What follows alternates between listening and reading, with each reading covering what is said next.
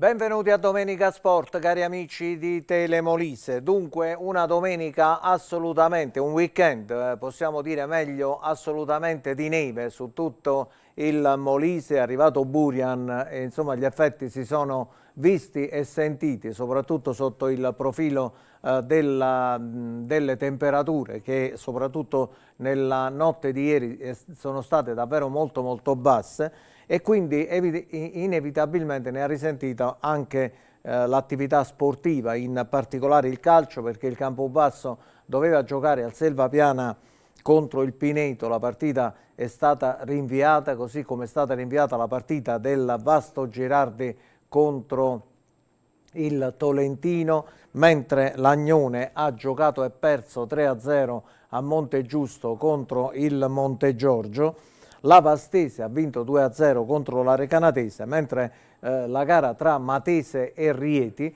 sono, queste sono le tre partite che abbiamo seguito con maggiore attenzione, Matese-Rieti è terminata a Piedimonte-Matese eh, sul nulla di fatto 0-0, anche lì comunque ha iniziato a nevicare a un certo punto, però la partita è giunta a conclusione. Parleremo di questo, parleremo di basket, infatti è in corso di svolgimento la partita al Pala Selva Piana tra la Molisana e Sassari. Eh, siamo in corso di svolgimento del terzo quarto, la Molisana è saldamente in vantaggio, ma ci collegheremo tra poco in diretta con Francesco Bronale che sta seguendo per noi questa partita. Nella seconda ha vinto, è tornato al successo, stavo dimenticando, il CUS Molise dopo tre sconfitte consecutive per il campionato di Serie A2 ieri pomeriggio ha battuto al Pala Unimol il Castelfidardo con un secco 3-0, soprattutto sta cercando di recuperare qualche infortunato perché erano decisamente troppi e gli effetti si sono sentiti sulle tre sconfitte.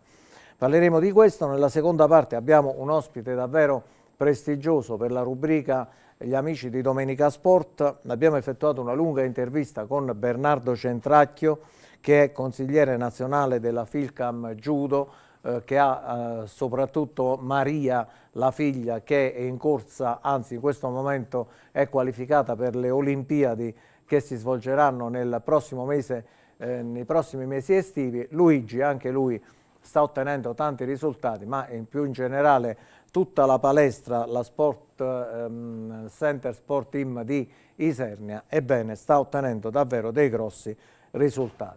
Allora insieme a me, eh, come tutte le domeniche, Eleonora D'Aversa, eccola qui inquadrata, Buonasera. Sei riuscita ad arrivare da Vinchiaturo? Sì, sì, assolutamente, direttore. Buonasera a lei, ben ritrovato e una buonasera e una buona domenica a tutti i telespettatori di Telemolise. A voi il benvenuto alla puntata 1234 di Domenica Sport, durante la quale, come sempre, potrete interagire con noi. Scriveteci su WhatsApp tramite sms al numero sempre attivo 331 26 5x2 oppure potete scrivere eventualmente anche al numero privato del nostro direttore. Appunto appunto per interagire con noi, con gli ospiti di questa sera negli studi di Campobasso e con quelli nelle redazioni in collegamento da Termoli e da Isernia. Vi ricordo inoltre che siamo in diretta sul canale 11 qui Molise, sul canale 880 in Lazio, compresa la capitale, ma potete seguirci anche dalle altre regioni d'Italia e dall'estero, sintonizzandovi sulla pagina Facebook di Telemolise dove troverete la diretta, eh, stesso discorso per il canale YouTube di Telemolise infine ci trovate anche su Amazon Fire, fruibile in tutto il mondo attraverso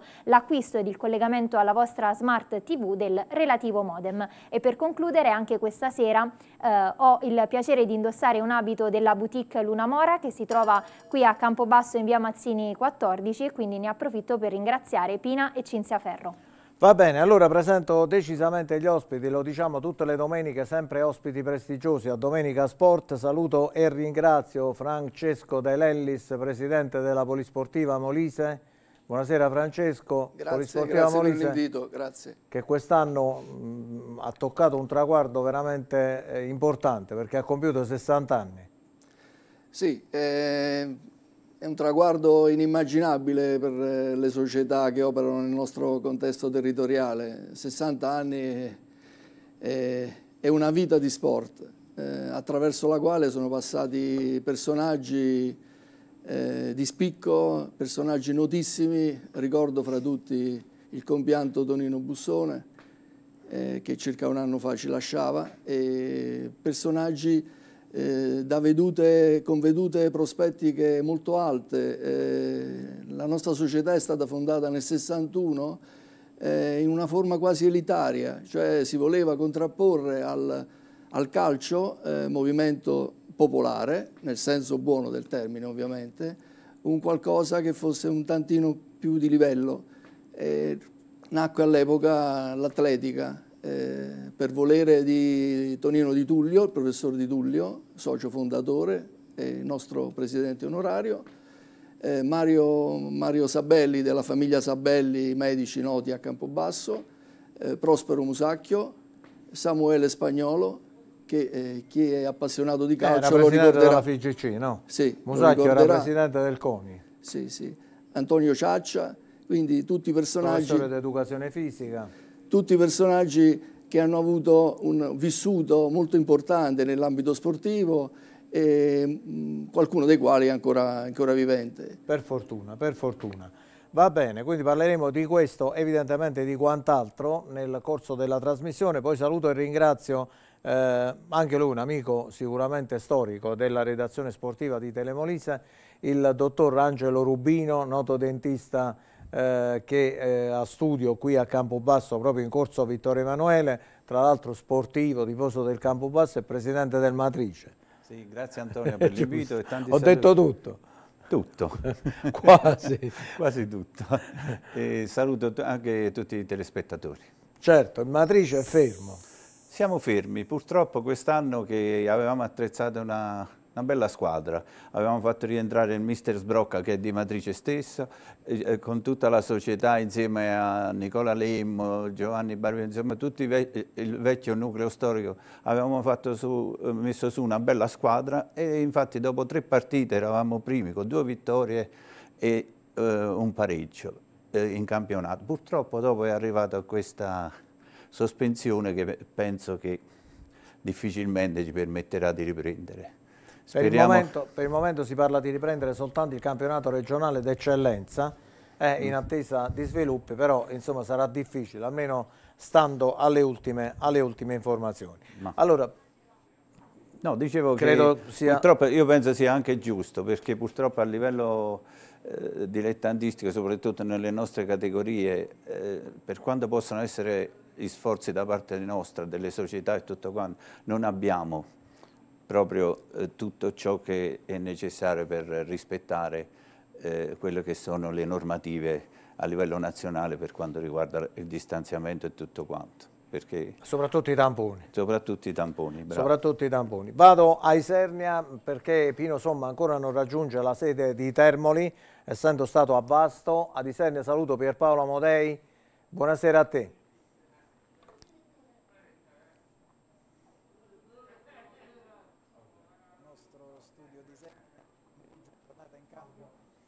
Vabbè, non lo sentiamo, eh, cerchiamo di capire da che cosa dipende. Allora, eh, dunque, prima di vedere i risultati che sono maturati quest'oggi, ieri pomeriggio c'è stata l'inaugurazione di eh, un grande supermercato qui a Campobasso, presso il centro Pulitano.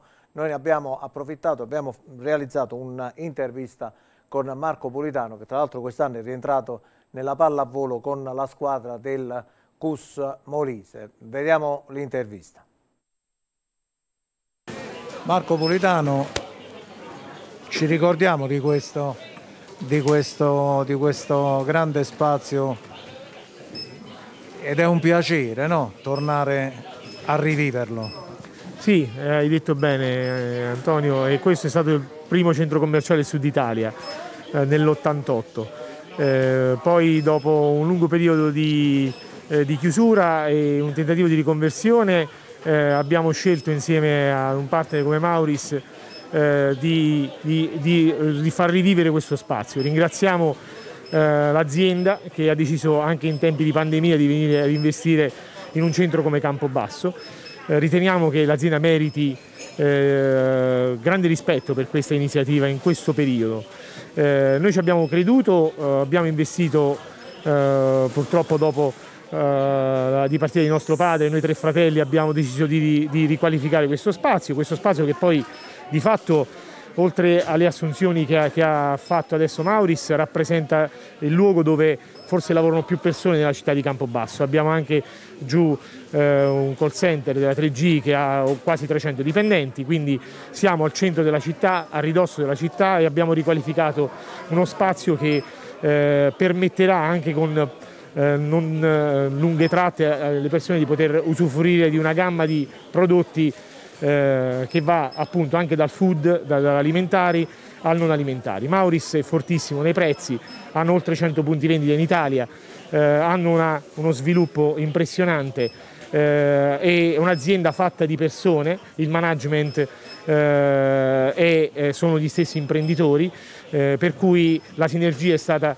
eh, diciamo facile perché siamo una famiglia di imprenditori qui a Campobasso e famiglia di imprenditori dall'altra parte, per cui eh, la dialettica è stata molto simile. E quindi... Senti, tuo padre io l'ho conosciuto quando, insomma stiamo parlando veramente di tanti anni fa, l'hai detto tu, è stato il primo centro commerciale praticamente del, del centro-sud, eh, era una persona che guardava molto lontano e devo dire che eh, in qualche maniera io in te eh, insomma, rivedo molto insomma, delle, eh, della lungimiranza e soprattutto della, se mi consenti anche della tenacia, della testardaggine di, di tuo padre. Eh, ti ringrazio per il complimento che, sai, che per me è davvero un complimento. Eh, io penso che oggi mi, mi, mi permetti questo, grazie Antonio, che mio padre sarà molto felice di questa apertura oggi, di vedere uno spazio creato da lui, eh, riconvertito da lui, perché questa era un'industria eh, e poi trovatosi a ridosso della città decise che non si poteva fare più industria al centro della città e quindi fu riconvertito a centro commerciale. Fu un precursore all'epoca, eh, fu davvero il primo eh, nel sud Italia, quando l'ultimo centro commerciale del sud Italia era a Roma. E, e, quindi abbiamo deciso di non, non sono forse i tempi più di fare un centro commerciale perché oggi i centri commerciali eh, possono, eh, vista la situazione di mercato, soffrire molto, eh, visti i costi che hanno le strutture. Quindi abbiamo deciso che questa sia la formula, crediamo, migliore per la città e ti ringrazio per il complimento, ma i complimenti vanno fatti innanzitutto a Mauris che, che credetemi, eh, in un momento così particolare non è eh, facile trovare imprenditori che credano di investire in una città piccola come Campobasso. Bene, allora arrivato da eh, Pierpaolo Amodei dovrebbe essere tutto a posto. Pierpaolo, buonasera. Un eh, caro saluto e bentrovati anche dal nostro studio di Sernia. Nel pomeriggio ha ripreso a giocare eh, l'FC Matese, non accadeva dal, da quel 10 gennaio, dal 3-0 eh, inflitto al Tolentino e eh, questo pomeriggio 0-0 contro il Rieti, quindi il verdetto del Ferrante è stato privo di, di vincitori, ma eh, parleremo anche del nostro torneo d'eccellenza, lo faremo con l'ospite che ci ha raggiunto eh, questa sera, il presidente dell'Aurora Alto Casertano, Flaviano Montaquila. Buonasera Presidente, grazie di essere con noi. Buonasera, buonasera e grazie per, averci, per avermi invitato. Va bene Presidente, allora esattamente Adriano Montaquila che io ho visto credo una sola volta a Ripa Limosani, è così, ci siamo incontrati lì?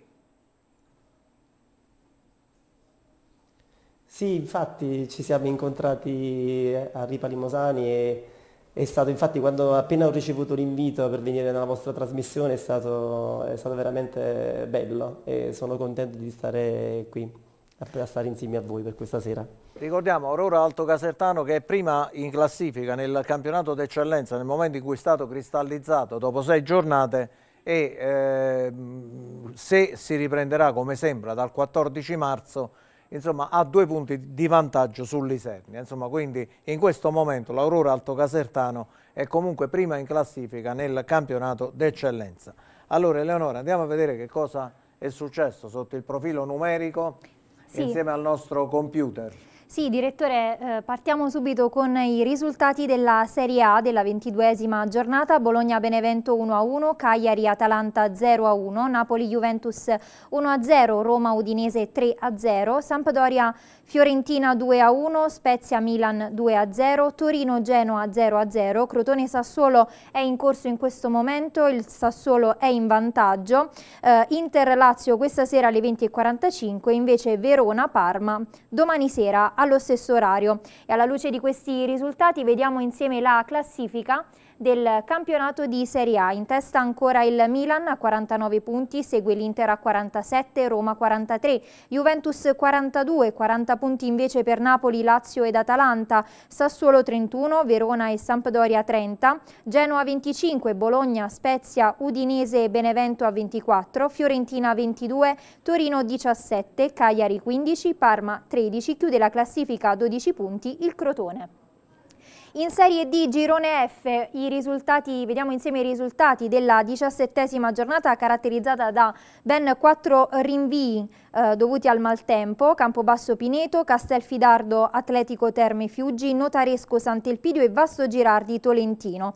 E I risultati Castelnuovo Vomano Real Giulianova 5 a 1, Cinzia Albalonga Aprilia 0 a 0, stesso risultato per Matese Rieti, Monte Giorgio Olimpia Agnonese 3 a 0 e Vastese Recanatese 2 a 0 a 0 e eh, vediamo ora insieme la classifica del campionato di Serie D Girone F, in testa a pari merito Campobasso e Castelnuovo Vomano a 33, però al Campobasso mancano ancora tre partite da recuperare, la prossima questo mercoledì contro il Tolentino, Notaresco 29, Castelfidardo, Rieti e Cinzia Albalonga 25, Vasto Girardi e Vastese a 24, Recanatese 22, Aprilia 21, Atletico Terme Fiuggi 18, Monte Giorgio e Pineto 17, Tolentino 15, 15, Matese 11, Real Giulianova 9, chiudono a tre punti Sant'Elpidio e Olimpia Agnonese.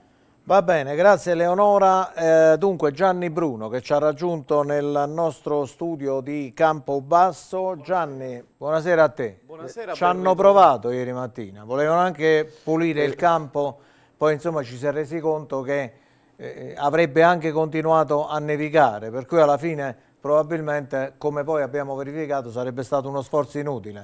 In effetti sì, eh, il Campobasso ci ha provato fino alle 13 circa, infatti è stata questa l'ora nella quale la società rossoblù ha inoltrato la richiesta di rinvio della gara contro il Pineto. In effetti eh, le condizioni di Selvapiana che abbiamo eh, filmato intorno alle 10 di ieri mattina non consentivano la disputa dell'incontro eh, contro il Pineto, il Campobasso voleva giocare assolutamente, tra l'altro eh, si vociferava, poi lo chiederemo eh, a un dirigente rossoblù che interverrà, eh, si vociferava sì, tra poco, tra sì, eh, che il Campobasso potesse anche partire anticipatamente alla volta di eh, Tolentino. Per allenarsi lì, per allenarsi si giocherà mercoledì. Infatti questa mattina la squadra ha svolto degli allenamenti in una struttura al coperto. Va bene Gianni, allora iniziamo subito, facciamo vedere un episodio che si riferisce alla partita di recupero di mercoledì scorso, vero? Perché insomma noi notiamo, quando notiamo qualche episodio poi eh, ce lo portiamo o la domenica o il lunedì. Allora, qui così chiediamo anche il parere, il parere dei nostri ospiti. Dove giocherà mercoledì il Campobasso. La partita è Tolentino, Olimpia, Agnonese. Allora andiamo con le immagini sul nostro touchscreen. Siamo al ventiduesimo del eh, primo tempo, vedete il Tolentino e la squadra con la maglia chiara, c'è questo cross dalla sinistra, ecco già abbiamo visto l'episodio da Moviola, ma io continuo e poi... Perché con questo episodio il Tolentino ha sbloccato il risultato, eh? è andato in vantaggio 1 C'è eh, praticamente Padovani che è entrato in contatto con, eh, dovrebbe essere Carnevale dell'Olimpia Agnonese, siamo esattamente al limite dell'area di rigore, cade Carnevale ma l'arbitro che è il signor Grassi di Forlì fa giocare. A questo punto la palla arriva sul fondo a Laborie che eh, la rimette al centro, lo stesso Padovani va a realizzare anche in maniera abbastanza comoda l'1 a 0. Il 20... problema è se c'era fallo. Fallo o meno su, eh, sul difensore dell'Olimpia Agnonese. Fallo rivedere perché facciamolo rivedere e chiedo il parere al presidente dell'Aurora Alto Casertano Adriano Montaquila. Presidente, secondo te?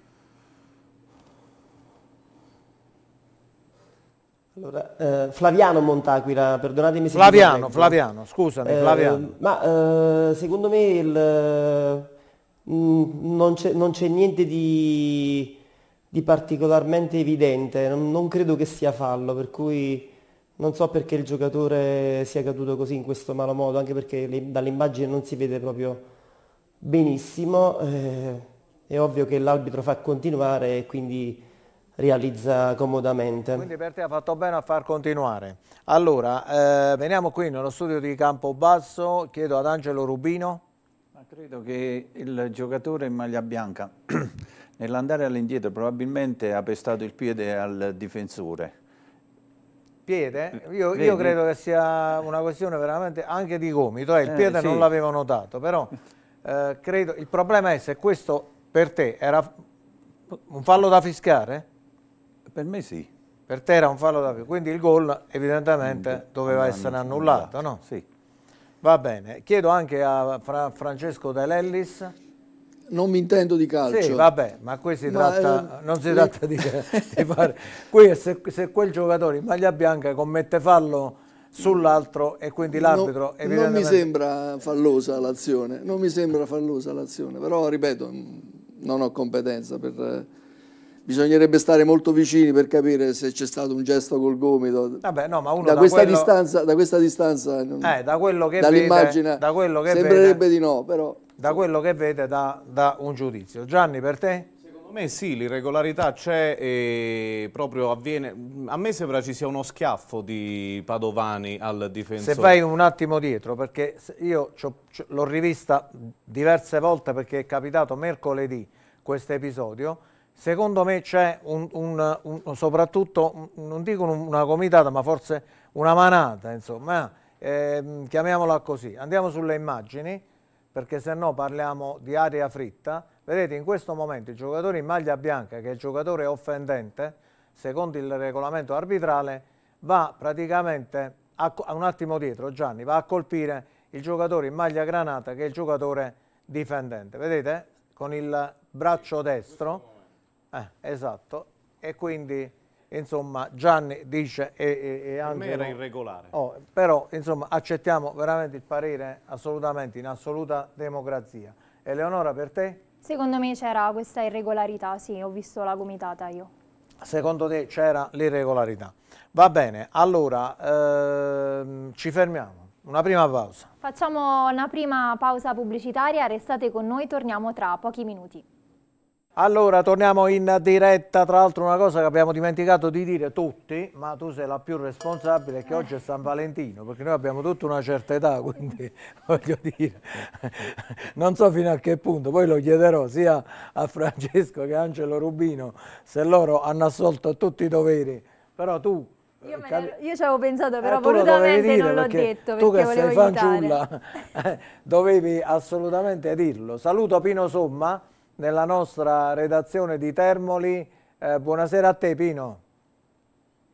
Buonasera direttore della redazione di Termoli, noi siamo appena rientrati dalla trasferta di Vasso dove abbiamo seguito la partita della Vastese che in casa ha superato anche l'ostacolo della Recanatese, una delle squadre che erano ambite per il salto di categoria, soprattutto accreditata per poter fare il salto di categoria nel campionato professionistico. Oggi eh, si è vista poco la Recanatese sul campo, la Vastese diciamo che l'ha dominata in lunghi tratti, diciamo per una buona ora, è stata tantissima Vastese. Ha vinto la formazione abruzzese per 2-0 che si è imposta per 2-0 eh, con un gol per tempo, è riuscita praticamente a far sua l'intera posta in palio. Terza vittoria consecutiva per la Vastese che gira a una quota importante, era terzultima in graduatoria prima dell'arrivo di Fulvio Tadderio, adesso è lanciatissimo, lanciatissima la squadra abruzzese verso la zona playoff. Eh, abbiamo registrato poi anche a fine partita diverse interviste, elogi tanti a Fulvio Tadderio, Desiderio, lui invece è rimasto con i piedi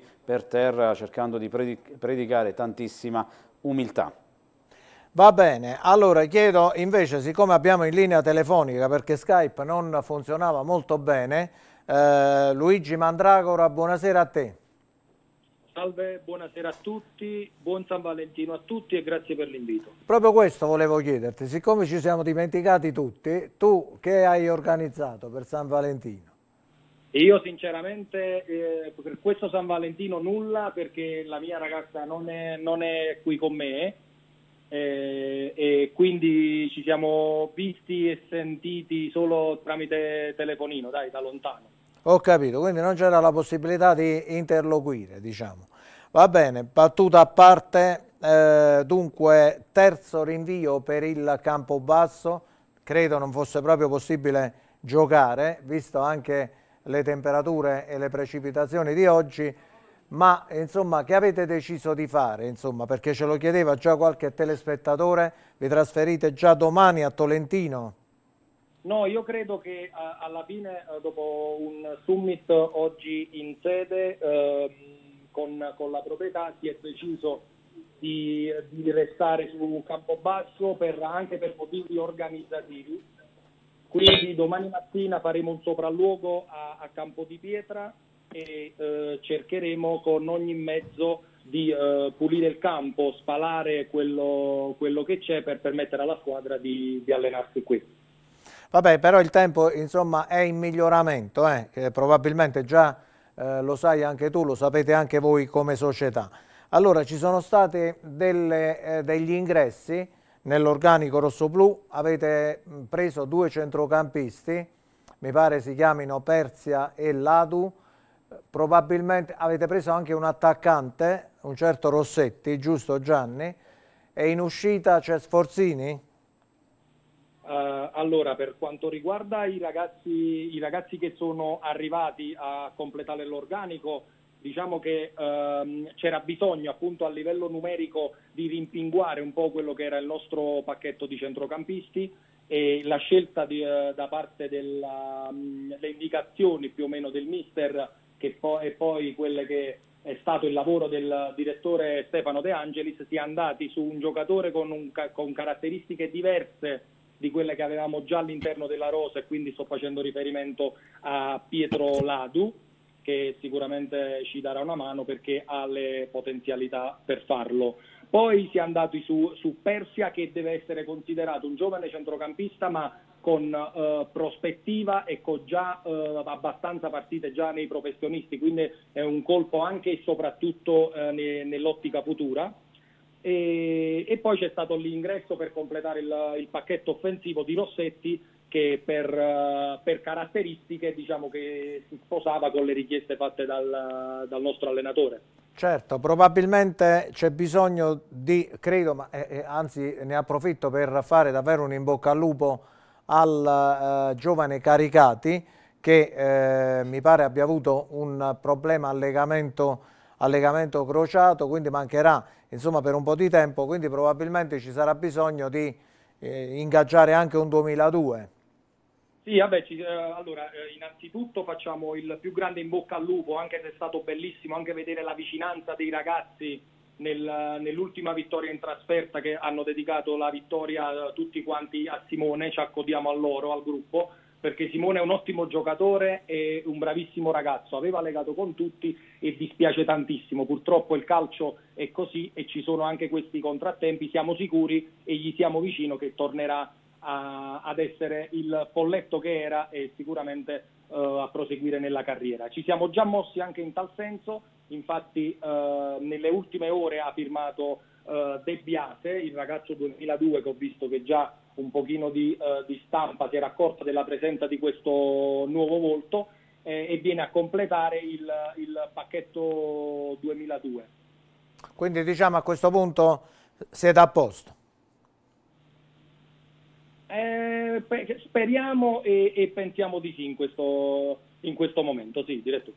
Va bene, un'ultima cosa volevo chiederti, eh, primi in classifica 33 punti, con eh, oggi finiva il girone d'andata, quindi in sostanza era la diciassettesima giornata, ma voi ne avete giocate 14, quindi c'è la possibilità concreta, reale, di incrementare il bottino.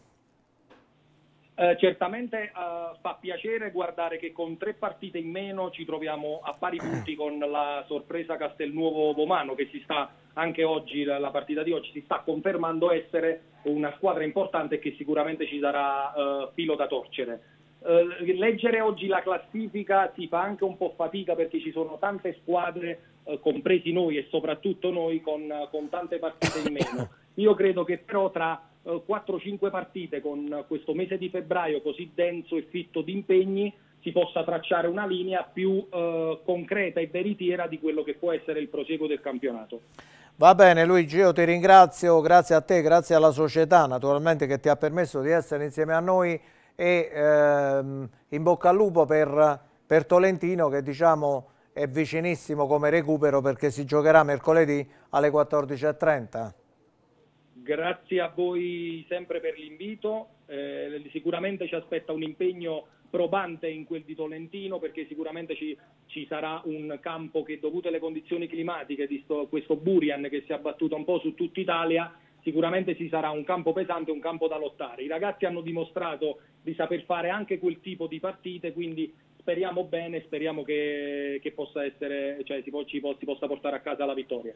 Va bene, grazie, salutiamo Luigi Mandragora, quindi possiamo chiudere il collegamento. Angelo Rubino, mi sembra che quest'anno ci siano tutte le carte, tu sei venuto sempre qui, sempre. ogni anno sei stato ospite di Domenica Sport, forse mai come quest'anno sì. ci sono tutte le condizioni, no? Sì, sì, sì, la squadra io credo che sia proprio la più forte del campionato, perché è completa in tutti i reparti, adesso eh, hanno fatto questi ulteriori acquisti, eh, per cui io credo che eh, bisogna avere eh, pazienza e tranquillità, perché poi, sai, tipo la partita con Giulianova, capita ogni tanto qualche partita del genere. Ho visto il risultato, oggi ha perso 5 a 1. Da noi gli è andata veramente di lusso, però eh, voglio dire, il Campobasso poi in esterno ha, ha giocato tante belle partite, le ha vinte e tutto quanto, per cui eh, io credo che quest'anno, se ci sfugge quest'anno, io credo che difficilmente poi riusciremo a vincere il campionato un'altra volta. No, speriamo che... Speriamo, di no. Che, no anche, che... perché, anche, perché, quest'anno, non solo quest'anno, la società è veramente all'altezza eh, rispetto sì, a sì. tanti altri eh, eh, gruppi societari che hanno preceduto questo gruppo qua, che è veramente all'altezza della situazione. Sicuramente. Allora, mi dicono che possiamo collegarci con il Pala Selva Piana, dove ha vinto Francesco Brunale la Molisana, insomma se possibile ha riscattato quel bruttissimo passo falso di Battipaglia, perché io ho avuto modo di parlarne anche con eh, le mie amiche Carolina Sanchez e Emilia Bove, è stata quella una, veramente una bruttissima sconfitta. Buonasera innanzitutto, sì quella rimane una, diciamo una pagina nera fondamentalmente della uh, storia comunque recente di questa di questa formazione. Però eh, quello che è positivo è che oggi la squadra ha giocato bene, ha vinto 73 a 51 contro Sassari, si è allontanata definitivamente secondo me dalla zona calda della classifica, sono due punti che fanno morale perché ottenuti contro una squadra sicuramente eh, alla portata eh, dove oggi eh, veramente il Campobasso ha giocato bene, non ci sono mai stati di concentrazione, è stata sul pezzo dall'inizio sino alla fine. Dobbiamo dire due cose, innanzitutto la grandissima prestazione del duo croato-americano Tikvic e Vojta. La croata ha realizzato 19 punti, ma è stata una giocatrice clamorosamente efficace sotto canestro perché ha realizzato punti importanti, ma con una varia... ha una, veramente un bagaglio tecnico che abbiamo raramente visto a giocatrici di questo calibro. Fa dei movimenti proprio da dizionario della pallacanestro, davvero una giocatrice importantissima, fortunatamente è arrivata in corso d'opera, ma è una giocatrice che è un valore non aggiunto, due valori aggiunti a questa formazione. E poi Voita con ben 24 punti ha fatto capire che se per tanti anni hai giocato in Serie A e vinto uno scudetto, un motivo ci sarà e oggi finalmente si è vista l'americana che tutti aspettavamo, perché ricordiamoci sempre che questa è una giocatrice che non ha per niente giocato il girone d'andata causa i tormentati problemi fisici che l'hanno attanagliata. Quindi sono due punti importanti che danno morale, fanno classifica e che ti preparano una, a un doppio impugno importante. Si va prima a Broni contro una squadra che hai già battuto all'andata e che quindi potresti naturalmente vincendo fare un altro salto in avanti in classifica e poi c'è il recupero con Schio. Quella è una partita che si deve giocare chiaramente, ma in cui il pronostico è tutto a favore delle Venete, però è sempre una partita che può offrire delle indicazioni importanti a Sabatelli, soprattutto per capire il grado di maturità del gruppo. Certo, c'è il rimpianto di quella sconfitta a Battipaglia, perché adesso la classifica poteva essere migliore, è stata una partita nata male e finita ancora peggio, insomma, però cerchiamo di metterci una pietra sopra, insomma, così come il Campobasso ha pareggiato con Giulianova, ci può stare anche che la Magnolia ha perso con il Battipaglia, anche se fa male dirlo, ecco, tutto qui. Sicuramente nello sport eh, ci sono queste situazioni, lo diceva prima Angelo Rubino, però quello che mi conforta molto è che stasera insomma eh, leggo nelle tue parole un certo ottimismo, quindi siccome mi affido completamente a te per quel che riguarda eh, il basket eh, anche in ottica di proiezioni su quello che può accadere, il tuo ottimismo questa sera è sicuramente confortante. Sì, sono contento, sinceramente sì, perché ho visto veramente una bella partita, le ragazze hanno giocato bene, poi hanno tenuto a 50 punti Sassari, 51, insomma davvero la difesa ha retto, 73 punti non sono tantissimi, non sono neanche pochi, soprattutto considerando anche le percentuali che non sono state molto, molto alte, però dobbiamo dire che in questi casi l'importante, come si suol dire, è vincere. Si è vinto, sono due punti che fanno morale e che penso porteranno Campobasso a giocare una buona partita anche a Broni, contro un avversario tosto, Broni è una delle squadre più eh, storiche della Serie di basket femminile e la società da cui è partita Cecilia Zandalasini, che è la giocatrice più forte italiana che gioca, ha vinto un titolo in WBNA e che gioca adesso in Turchia, la stella della nostra nazionale, quindi questo per far capire anche la tradizione che Broni ha. Broni, per chi non lo sapesse, è un centro vicino Pavia. Nello, nello stesso tempo è una partita che se tu vinci ti darà ulteriore morale, quindi oggi sono molto contento. Spero che insomma, questa squadra non sia la classica squadra che fa esploit importanti e poi eh, partite che ti portano a negativizzare tutto. Insomma, bisogna trovare un giusto equilibrio, però ricordiamoci sempre che la Magnolia è pur sempre una matricola. Ecco.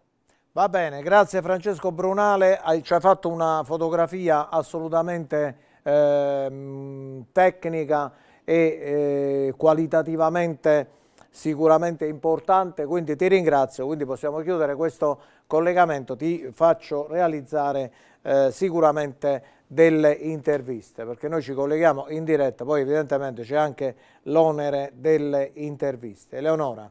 Una breve pausa. Ci fermiamo per un altro paio di minuti di pubblicità, ma eh, restate con noi perché torniamo tra poco sempre in diretta con Domenica Sport. Allora torniamo in diretta sempre da Telemolise, questa puntata di Domenica Sport, il presidente della Polisportiva Molise Franco De Lellis, dunque eh, parecchie cose non avete più potuto fare, no? Per esempio face, fa, voi organizzate quella bellissima manifestazione che è la Marcia dei Misteri che quest'anno l'anno scorso, scorso, è saltata. Allora, i protocolli nazionali non prevedono svolgimento di gare su strada a tutti i livelli e quindi queste manifestazioni... Quindi sono abolite anche le maratone? Sì, sì, da oltre un anno sono state bandite. Eh, noi non ci siamo mai fermati perché eh, in quanto sport che si svolge prevalentemente all'aria aperta... Stiamo vedendo proprio le immagini dell'ultima sì, volta che c'è stato. Abbiamo beneficiato di questa situazione favorevole, quindi eh, il lockdown ha riguardato lo svolgimento di manifestazioni su pista, eh, però gli allenamenti sono continuati. Eh, l'atletica poi è ripartita a luglio con eh, gare di livello nazionale, prevalentemente di livello nazionale e quindi eh, c'è stata una, una, comunque una discreta continuità nell'attività.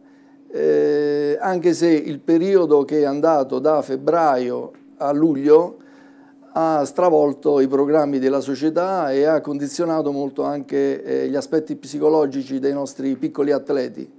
Molti ragazzi sono tornati completamente straniti, eh, non tanto per il calo di forma, ma a livello mentale. Quindi e questa cosa si trascina ancora nel tempo.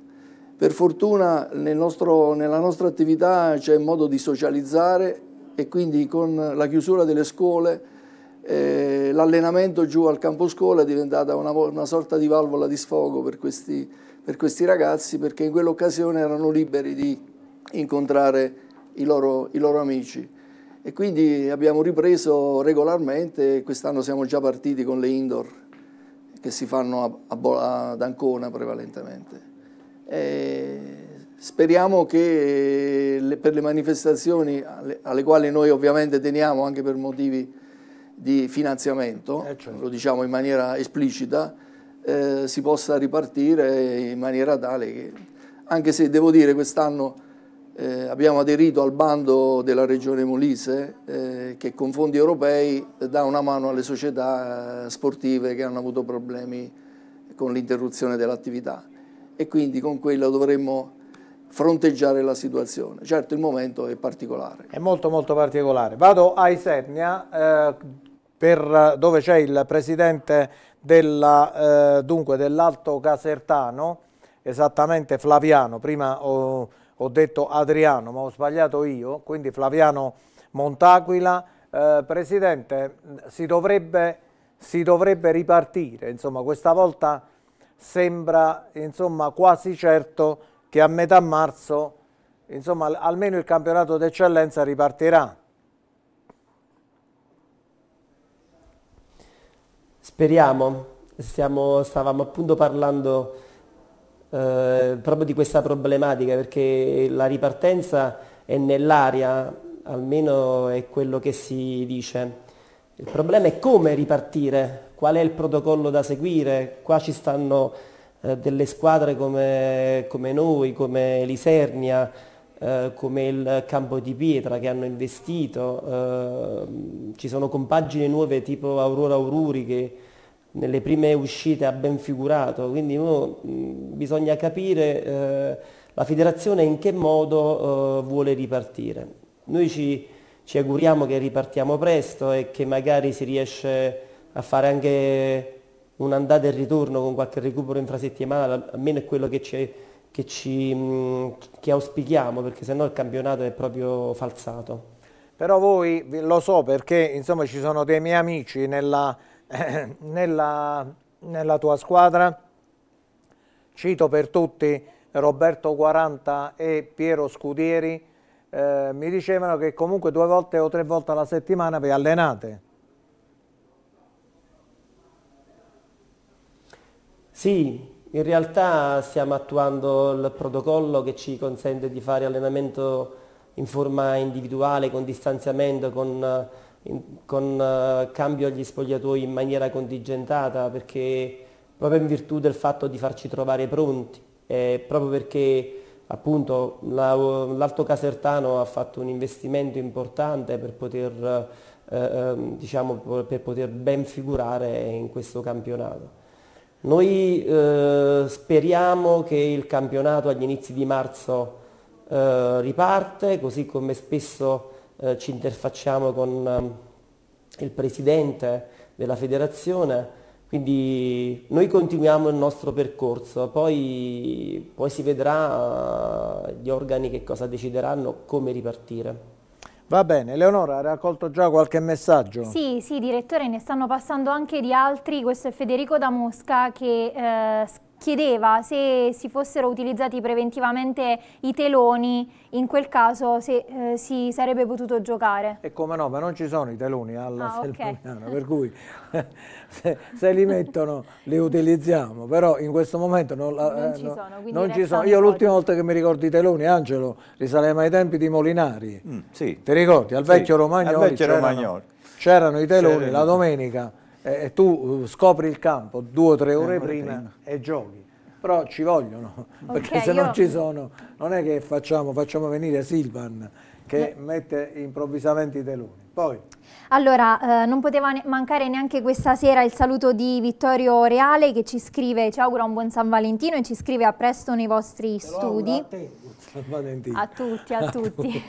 a Gianni. Gianni, te l'hanno augurato stamattina San Valentino. Ho chiesto soltanto a Eleonora. No, a, te... a me non l'ha augurato nessuno. Nessuno? Nessuno, quindi... Ragazzi, però veramente, ma fatevi vedere tutti quanti. Io sì, ho una visita prenotata in settimana e mi farò vedere. Ti fai, ti fai vedere? sì. Eh, poi ancora Lucia ci scrive complimenti per la trasmissione, quella di oggi è una festa commerciale come tante, sono contenta per i fiorai e i pasticceri che hanno festeggiato. E Nel... meno male. E meno male, visto il eh, periodo. Fa bene all'economia, no? Nel mio cuore è sempre il lupo e la Juve. Poi eh, non basta il Covid, ci si mette anche la neve a rendere difficile la disputa del campionato, ma il Campobasso vincerà su tutte le avversità. Altro KO per l'Olimpia Agnonese, la squadra è stata rifondata, siamo fiduciosi e ci auguriamo un girone di ritorno migliore, scrive questo telespettatore tifoso dei Granata. Il Cus Molise continua la sua corsa, ieri importante vittoria a casalinga contro il Castelfidardo, 3-0, lo ricordiamo, il sogno continua. Ancora, eh, mercoledì, si giocherà Vasto, eh, a Vasto Girardi Matese, i padroni Secondo di casa... Me, posso dire la mia? C'era il punto interrogativo sì, oppure un'affermazione? Un punto interrogativo. Per me no. perché a Vasto Girardi a mille metri il campo un po' difficile che sciolga. È prevista? Eh? Eh, non ci sono, nemmeno là. Però è difficile perché a Campobasso è previsto un rialzo delle temperature fra domani sì. e martedì. Ma a Vasto Girardi mille metri, quindi se, comunque tra poco lo chiederemo perché abbiamo un collegamento con il, con il tecnico del Vasto Girardi. E poi ultima, ultima, domanda, Castelnuovo Vomano non più sorpresa di questo girone F ma sempre più bella realtà. Potrà essere la principale antagonista del campo basso per la lotta al primato secondo voi? Eh, guarda io penso che nello sport quello che vale sempre è la classifica perché è inutile le chiacchiere stanno a zero. Poi si gioca per fortuna la domenica, sai lunedì, martedì, mercoledì, giovedì, venerdì possono parlare tutti. La domenica se vinci avevi ragione, se, se pareggi puoi mettere ancora qualche scusa, se perdi hai torto. Quindi la classifica dice che in questo momento, anche se con tre partite in più del campo basso, è a pari punti del campo basso, quindi perché non se la potrebbe giocare. Va bene? Sì, allora, okay. ha pareggiato invece il Matese che ha seguito Pierpaolo Modeni. Sì, l'FC Matese è tornato in campo al Ferrante di Piedimonte dopo quasi un mese di stop forzato a causa del Covid e ha pareggiato 0-0 contro il Rieti. Eh, C'era per noi appunto Pierpaolo Amodei, vediamo il suo servizio. Torna a disputare una gara ufficiale l'FC Matese, non accadeva dal 10 gennaio, giorno dello schiacciante 3-0, inflitto al Tolentino. Da lì in poi la squadra del presidente Rega si è ritrovata costretta a rinviare ben 5 partite, non un avversario simpatico, il Rieti di Mister Campolo, caduto sette giorni fa tra le mura amiche per mano della sempre più sorprendente matricola Castelnuovo Vomano. Arbitra il signor Marin della sezione di Porto Gruaro, fase di studio più lunga del previsto. Urbano perde ad USA dopo pochi minuti ed è costretto alla prima sostituzione che porta all'ingresso in campo del 2002 Mariconda. Dobbiamo attendere il diciottesimo quando i laziali riempiono il nostro taccuino con questa conclusione sbilenca di Orchi. La risposta locale affidata a Galesio, minaccioso nel gioco aereo, soluzione angolata al lato di pochissimo, mentre la neve inizia in maniera graduale a ritagliarsi il suo spazio all'interno della sfida. Sempre Galesio che soffre per l'assenza di Abreu, il centravanti campano di nuovo sul pezzo poco dopo la mezz'ora, gesto acrobatico che non crea alcun inconveniente a Scaramuzzino, 41esimo calcio d'angolo in favore del Rieti, pallone allontanato dall'area di rigore, raccoglie Vari che chiama Palombo alla parata. Si va al riposo a reti inviolate, intervallo che riordina un po' le idee e con esse anche le condizioni meteo, con maldestri progetti fino a qualche minuto or sono. Al via il secondo tempo con il nostro Antonio Di Perna in cabina di regia serve tutta la bravura del portiere biancoverde su un pallone velenoso che Brumat gira in porta sotto misura quasi a colpo sicuro. Palombo riesce a preservare la propria porta. Fronte opposto, punizione dal limite per i campani. Barone non tiene bassa la mira, partita più entusiasmante sotto il profilo delle manovre d'attacco. Tiro dalla bandierina per i rossi, stacca Scognamiglio senza influenzare gli equilibri. Al decimo Barone insiste con le punizioni, posizione più interessante rispetto a quella precedente, Scaramuzzino a vita facile. Al quarto d'ora occasione per gli ospiti, corsa di Marchi che si presenta stanco al dolce appuntamento come testimonia l'esito della conclusione che vede la sfera perdersi largamente sul fondo. Ancora Barone offre assistenza a Ricci puntuale al limite dell'area piccola. La punta matesina non solca a dovere.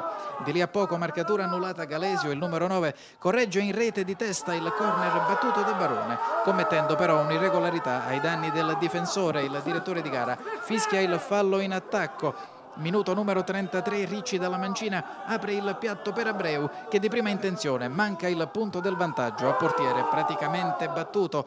Lo stesso attaccante con la maglia numero 20 nel finale manifesta eccessiva fretta nella gestione di un pallone che poteva offrire spunti più interessanti. Ne viene fuori soltanto un tiro alle stelle, finisce 0-0, privo di vincitori il verdetto del Ferrante. Il Rieti torna a conquistare punti dopo le battute di arresto con Campobasso e Castelnuovo a Bomano. L'FC Matese chiude con un pari il girone di andata e con 5 partite da recuperare. Due Molisane sul cammino dei biancoverdi. Mercoledì in programma il recupero con il Vasto Girardi e domenica in Campania arriverà l'Agnone per la prima di ritorno. Allora, questa è la partita giocata a Piedimonte Matese 0-0. Matese che non giocava da un po', eh? Eh, quasi un mese, Angelo, perché hanno avuto prima mh, una decina di ragazzi positivi al Covid, poi eh, c'era stato un momento in cui erano tutti negativi, però nemmeno qualche giorno dopo, insomma altri sei sono risultati positivi. Quindi insomma, questo Covid ci ha cambiato, prima lo diceva il presidente della Polisportiva Molise, ci ha cambiato la vita, no? Te lo dico perché io personalmente ho avuto problemi col Covid. Ah, quindi tu diretto? Proprio io personalmente e mia moglie, insomma abbiamo avuto problemi e adesso ne siamo usciti fuori, però come diceva il Presidente, il problema è molto psicologico, anche se nel momento in cui ci sono i sintomi e tutto quanto, ok, però è proprio... Aspetta un attimo Angelo perché non si sente, eh, mi dicono che non si sentiva eh, quello che dicevi, quindi ne approfittiamo Eleonora, magari lo sistemiamo per, per, cortesia questo microfono e vediamo, parlavamo del Castelnuovo, ma avevano fatto una domanda sul Castelnuovo, abbiamo il servizio. Sì. Pomano ai danni del Giulianova, 5 a 1 il risultato di questa sfida, vediamo il servizio di, eh, dei colleghi di TV6. Il Castelnuovo arriva al giro di Boa con un successo rotondo nel derby e con il primato in classifica al pari del Campobasso, con i molisani che devono comunque recuperare tre gare. Un girone di andata con i fiocchi per i neroverdi del presidente Di Flaviano che da neopromossi stupiscono giornata dopo giornata. Dopo i KO con Pineto e Notaresco è arrivata anche la prima vittoria interna in un derby per i neroverdi. Un passivo troppo pesante per il Real Giulianova che ha giocato un ottimo primo tempo, chiuso però in svantaggio per colpa di un calcio di rigore. Episodio che ha finito per tagliare le gambe alla compagine del presidente Bartolini, attesa mercoledì dal recupero di Agnone.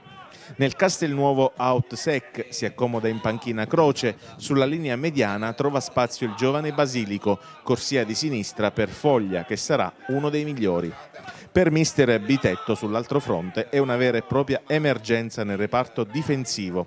Fuori gli infortunati Demoleon, Ranellucci ed Amadio e gli squalificati Caso e Danna. Emorragia del pacchetto arretrato parzialmente risolta con l'innesto del neoarrivato dal lentigione Galli. In panca l'altro neoacquisto Modic.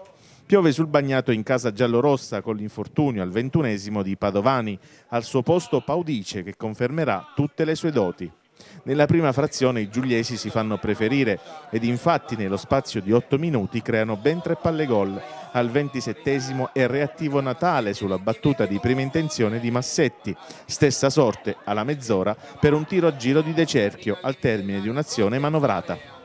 Al 35 invece è Tedone ad impegnare l'estremo di casa dopo un anticipo ai danni di un giocatore nero-verde.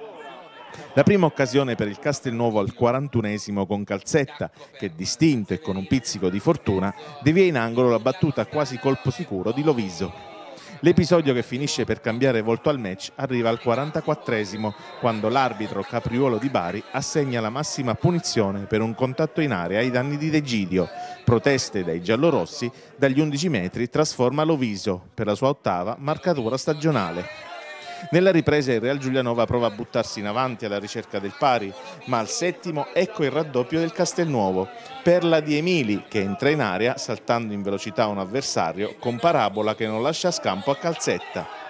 Dopo l'intervallo la squadra di mister Di Fabio gioca meglio e sulle ali dell'entusiasmo trova anche il tris al diciannovesimo, sempre con Emili e sempre con un'azione d'applausi, conclusione dal limite e palla in rete per la doppietta del numero 10 di casa. Match oramai compromesso per il Real Giulianova che sfiora la rete al 24 con il colpo di testa di Barlafante che da pochi passi sorvola la traversa. Il ritmo della sfida non cala ed infatti sul taccuino sono diverse le palle gol. Al 33 Calzetta è prodigioso sul colpo di testa di Sbarbati, mentre al 39 un altro neoentrato, Forcini, manda al lato di pochissimo. La rete della bandiera per i giallorossi un minuto più tardi ed è tutto merito di Paudice, che fredda in uscita Natale. Intensissimo il finale con Ancinelli che salva sulla linea al 41esimo dopo un'iniziativa di Sbarbati e con lo stesso numero 19 del Castelnuovo che trova la gioia personale sul corner susseguente. È il secondo centro della sua stagione. Nei 5 minuti di recupero assegnati dal direttore di gara c'è tempo anche per un'altra marcatura, per i neroverdi di casa, grazie a Bregasi che finalizza un perfetto assist di Manari. Vabbè, allora danno sistemato il microfono. Angelo, dicevamo, eh, parlavamo del Covid, Sì. avevi detto che purtroppo eh, Sì. ci siete capitati anche tu Eh, sì, e io- Marilena, tua io- moglie, no? Sì, io e mia moglie, però come dicevo prima e come diceva il Presidente, soprattutto dal punto di vista psicologico è pesante. È pesante perché non sai quello che può essere l'evolversi della malattia. Per Tu sei cui- stato in casa, in casa quanti giorni?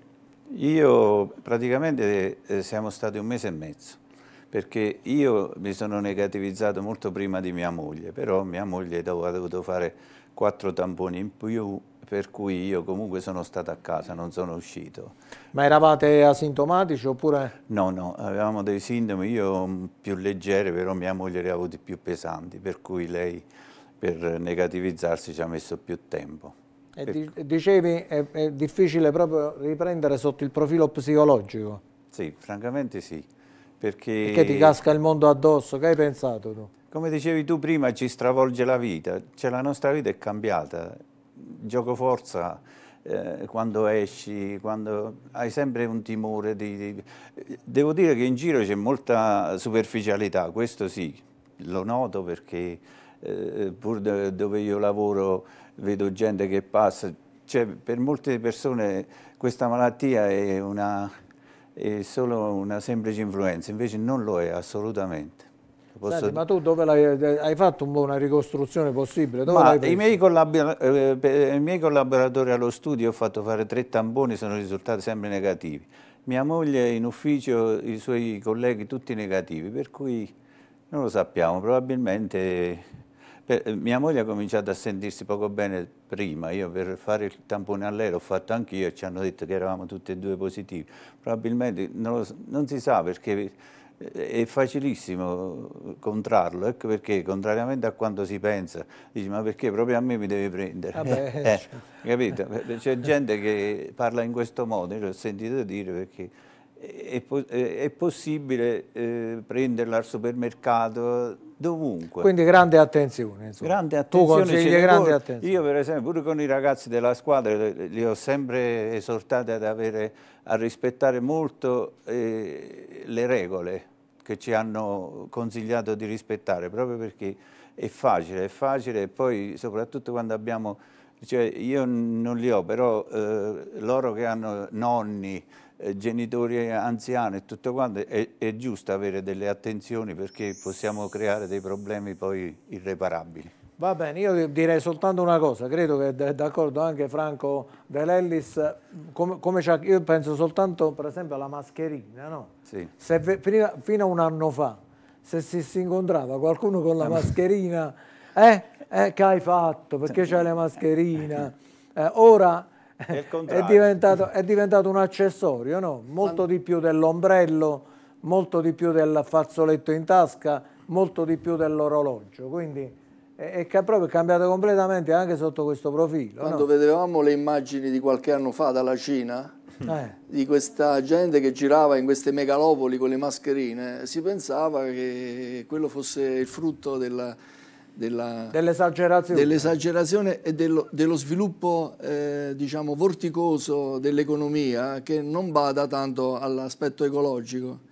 Adesso ci siamo arrivati anche noi per altri motivi, quindi la mascherina ormai è diventata di uso comune, è diventato un complemento di, eh, di- di, diciamo, di abbigliamento, insomma, al Sì. pari di una sciarpa, di un cappello. Di più, perché il di cappello più te lo perché puoi anche dimenticare. non puoi dimenticarla. eh.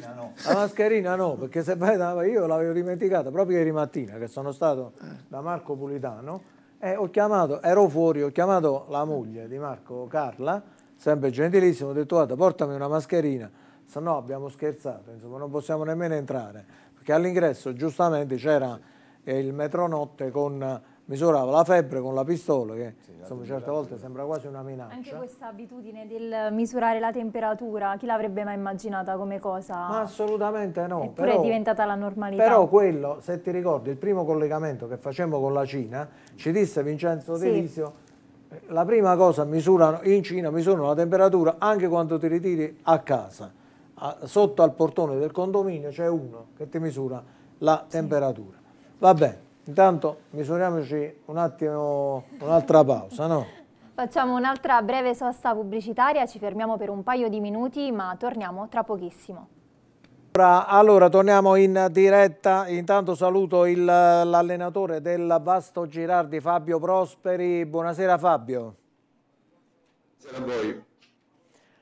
Poi me lo fate anche vedere. Allora, ti eri lamentato, se ti ricordi, domenica scorsa che si giocava troppo e subito è arrivata la neve, no? Ma non è che io mi sono lamentato. Eh, no, no, ma mio... era, era, una battuta, la mia era una battuta, Fabio. Io non mi sono lamentato, io ho semplicemente detto che in queste categorie giocare, giocare noi avevamo in programma sette partite consecutive ogni tre giorni, non era semplice, ne abbiamo fatte cinque consecutive e non ci siamo lamentati, le abbiamo fatte tutte e cinque. Anche noi abbiamo avuto il Covid, siamo stati 20 giorni a casa fermi, e tutto il blocco squadra senza poterci allenare. Anche noi abbiamo, tanto vale varrà per tutti, abbiamo avuto le stesse problematiche che hanno avuto tutte le squadre che, che purtroppo questo campionato ti sottopone. Avevo semplicemente detto che oggettivamente sette partite in 20 giorni per una squadra di Serie D che non ha rose di 30 giocatori sono, sono tante e sono a rischio infortunio, tutto qua.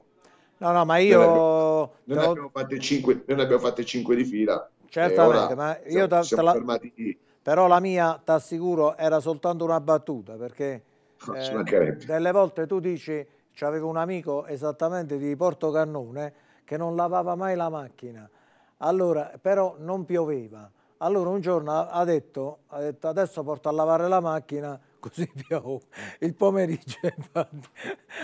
Lui ha lavato la macchina ed è venuto a piovere, capito? Cioè, era soltanto, soltanto una battuta. Eh, piuttosto ci hanno fatto una domanda poco fa, ho risposto io, ma insomma ho detto fra poco interviene l'allenatore del Vasto Girardi, invece che cosa pensi che accadrà mercoledì? Perché mercoledì dovreste giocare di nuovo in casa. Ma eh, noi, noi ci auguriamo di giocare come come volevamo giocare domenica, oggi, tant'è che noi ieri abbiamo fatto la rifinitura, avevamo preparato già tutto, poi perché noi ci alleniamo a Fornelli, poi Vasto Girardi invece era completamente impraticabile e purtroppo ci siamo dovuti, ci siamo dovuti rifermare, come, come purtroppo il Tolentino che non è potuto neanche partire. Niente, noi ci auguriamo di giocare anche perché abbiamo voglia di giocare come tutti, insomma stare fermi non è, non è il massimo e poi ti comporta tanti recuperi tutti insieme più in là. Senti, tu, hai, tu in questo momento hai la possibilità di vederci, giusto? Ci stai vedendo? Sì. Perfetto, sì. perché così ti facciamo partecipare anche al... abbiamo un episodio della partita del Matese e approfitterei anche della presenza di Fabio Prosperi per sentire anche il suo parere. Gianni. Allora. Secondo tempo della gara FC Matese Rieti, la squadra di casa, l'FC Matese, con le immagini possiamo andare sul nostro touchscreen, maglia bianca batte un calcio d'angolo, vedete al centro dell'area di rigore c'è Galesio, numero 9, che salta e va a realizzare il gol eh, teoricamente del vantaggio del Matese, dico teoricamente perché il direttore di gara annulla la marcatura per una spinta di Galesio ai danni del marcatore in elevazione. Andiamo... Tu mi devi far vedere solo una cosa, se Galesio, allora vai un attimo avanti perché voglio capire chi è il numero 9, eccolo qui, è quello che, perché non colpisce, poi lui colpisce di testa, vai sì. avanti, vai avanti con le immagini, sì, è lui che colpisce di testa. Vabbè, allora è stato annullato questo gol Angelo Rubino, che cosa ne pensi? Ha spinto con tutte e due le mani, penso che era giusto annullarlo. Ha spinto, quindi per te c'era il fallo. Sì. Eh, Franco? Questa volta è evidente, eh, si vede la spinta, non so di quale intensità, ma comunque la spinta c'è. La spinta c'è, quindi l'arbitro ha punito evidentemente il fallo. Andiamo a Isernia con eh, il presidente dell'Alto Casertano, Flaviano Montaquila. Flaviano, che ne pensi? Mi dispiace per eh, gli amici del Matese che saluto, ma purtroppo la spinta sembra evidente, quindi gol da annullare. Pierpaolo Amodei? Sì, una spinta abbastanza limpida eh, quanto incisiva perché poi eh, mette fuori causa il difensore. Quindi c'è il fallo, Pino Somma nella nostra redazione di Termoli, che ne pensi? Sì, l'ho visto anch'io, secondo me si è appoggiato sulle spalle del giocatore avversario, facendolo tra l'altro anche cadere, quindi è giusta la segnalazione del, dell'assistente del direttore di gara, quindi la rete giusta da, era giusta da annullare. Fabio Prosperi? Ma dalle immagini onestamente è difficile dare un giudizio e mi, mi astengo dal farlo, anche perché non, non, credo che sia il caso che io dia giudizi di questo caso. Comunque è un episodio che effettivamente l'arbitro deve valutare l'intensità dalla televisione non è semplice, non è semplice. No, ma dalla televisione non è mai semplice, Fabio, però insomma eh, io credo, non so eh, eh, se eh, insomma questo ti vorrei chiedere, perché sicuramente se vai a, ad analizzare la spinta sulle spalle c'è stata, però eh, è stata talmente forte da provocare poi diciamo eh, il colpo di testa, perché alla fine è quello, no? L'arbitro annulla ecco perché. perché. hai tratto vantaggio da un fallo, giusto? Eh, probabilmente è quello il difficile da valutare. Quindi non sei molto d'accordo, insomma, eh? mi sembra no, se, dipende, se, se, è normale che se la spinta ha creato una, una, uno svantaggio al difensore è, è giusto annullare ripeto, questo però lo può valutare solo l'arbitro, perché era lì a, a, un metro, posizionato anche molto bene, quindi se ha valutato questo probabilmente ha, ha visto così. Gianni, secondo te? Guarda, mm, bisogna valutare quello che dicevate sia tu sia il mister e ne ho visti anche dare di gol del genere, quindi non la vedo così eclatante come spinta. Io ne ho visti dare anche in Serie A. Se ti può, uh, sì, in tutte le categorie. se ti può servire soltanto se, se guarda se l'avessero convalidato al Matese non sarebbe stato uno scandalo. Eh, io ne ho visti dare anche in Serie A. Eleonora tu? Ma eh, secondo me ci poteva stare come non ci poteva stare, mm, dipende da, da, da, appunto da come avete detto voi, dall'intensità della spinta. Probabilmente io non l'avrei dato, cioè l'avrei convalidato il, il gol. Tu l'avresti convalidato. Allora Fabio, eh, che cosa è intenzionato a fare il Vasto Girardi? Se, perché da domani non dovrebbe nevicare più, quindi libererà il campo o cercherà un'altra un struttura o si va verso un altro rinvio? Ma, um, non lo so, sono... noi ci stiamo preparando per giocare, poi la società ci dirà dove, dove giocare. Noi come squadra non ci stiamo ponendo assolutamente il problema, noi ci stiamo solo allenando e stiamo preparando la partita. L'avevamo, l'avevamo già avevamo preparato la partita con il Tolentino per domenica, avevamo, pre, avevamo anche preparato la, già altre due volte la partita con il Matese, poi purtroppo per problemi legati al Covid sono state rinviate due volte, quindi onestamente, ripeto, non è un problema che io mi, mi, sto ponendo più di tanto, mi sto ponendo il problema di preparare una partita contro una squadra valida, forte e quindi al momento ho solo questa preoccupazione. Per quanto riguarda il campo, credo che domani, dopodomani si saprà. Allora, un'ultima cosa, eh, complimenti per eh, l'ottimo andamento in campionato, probabilmente saranno preoccupati gli altri, no? Il Tolentino che doveva giocare oggi contro di voi a Vasto Girardi e mercoledì mi pare dovreste giocare con chi? Con il Matese. Sì, no, no, no, guarda, noi stiamo, intanto grazie per i complimenti, noi stiamo cercando di fare il massimo.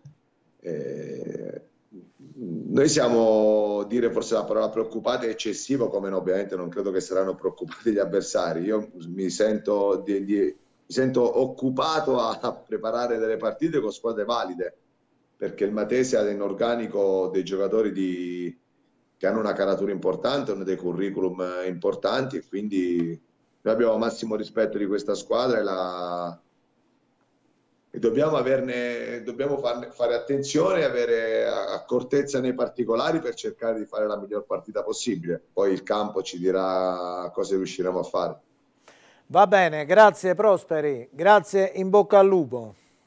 Grazie a voi, eh, grazie, ci, ci sentiamo presto. Eh, se faccio un'altra battuta un'altra volta però non mi mostrare il cartellino, no, ma... cioè, dico se, faccio, se ti faccio un'altra battuta non mi mostrare ma... il cartellino giallo, anche perché ce l'abbiamo, è vero Eleonora qui, qua siamo attrezzatissimi. La prossima volta ci accordiamo con il mister e... Ci, ci, accordiamo, ci accordiamo prima Fabio, va bene? Facciamo il cartellino giallo al direttore. No, assolutamente.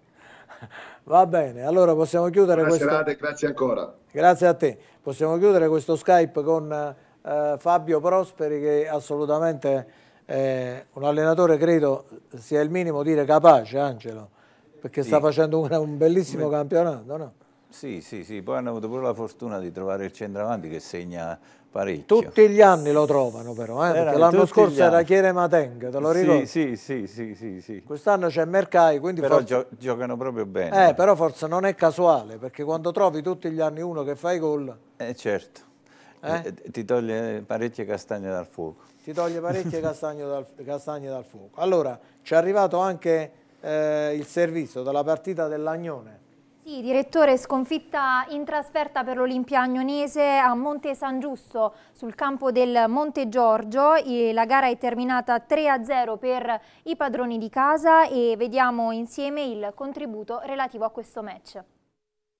Montegiorgio e Olimpia Annonese scendono in campo al Villa San Filippo causa all'indisponibilità del Tamborrini, ricoperto da una coltre di neve compatta che ha reso necessario lo spostamento.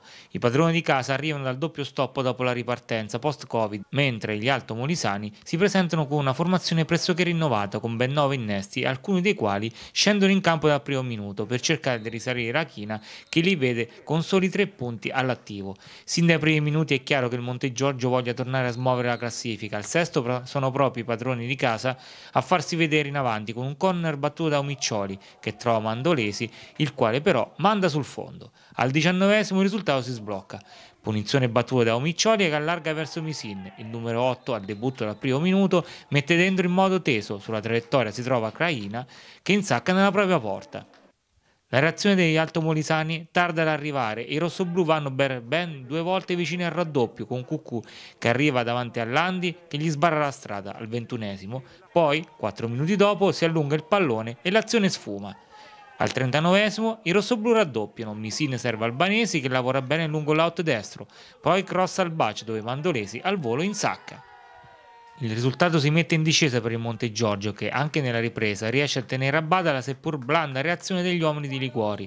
Al nono, Bottalico serve del Gaudio, ma Gagliardini è attento.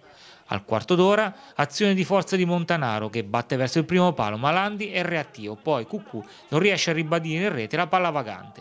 Al ventiduesimo arriva la più grossa occasione per l'Olimpia agnonese di tutto il match. In entrato Grazioso calcia un angolo dalla destra. Gagliardini è incerto nell'uscita e Padovani non riesce a mettere dentro a porta praticamente sguarnita. Alla mezz'ora ci prova Zancocchia, ma il suo sinistro è largo. Entra Lupoli e al 43esimo va vicino al tris. Trillini pennella per la testa dell'ex Fermana che però è sfortunato perché Landi con l'aiuto del palo riesce a respingere. La gioia è rimandata di soli 60 secondi quando lo scatenato Montanaro sfonda sulla sinistra e crossa trovando il perfetto inserimento del biondo attaccante che firma il 3-0. Scorrono i titoli di coda su un match che non è mai stato in discussione che ha visto il Monte Giorgio tornare a camminare, mentre per l'Olimpia Agnonese la strada diventa sempre più dura. Allora, qui abbiamo la pagella. Abbiamo la pagella dell'Olimpia Agnonese, vediamola insieme. La pagella, in collaborazione con GC Motors. Auto plurimarche con rateizzazioni personalizzate. Noleggio.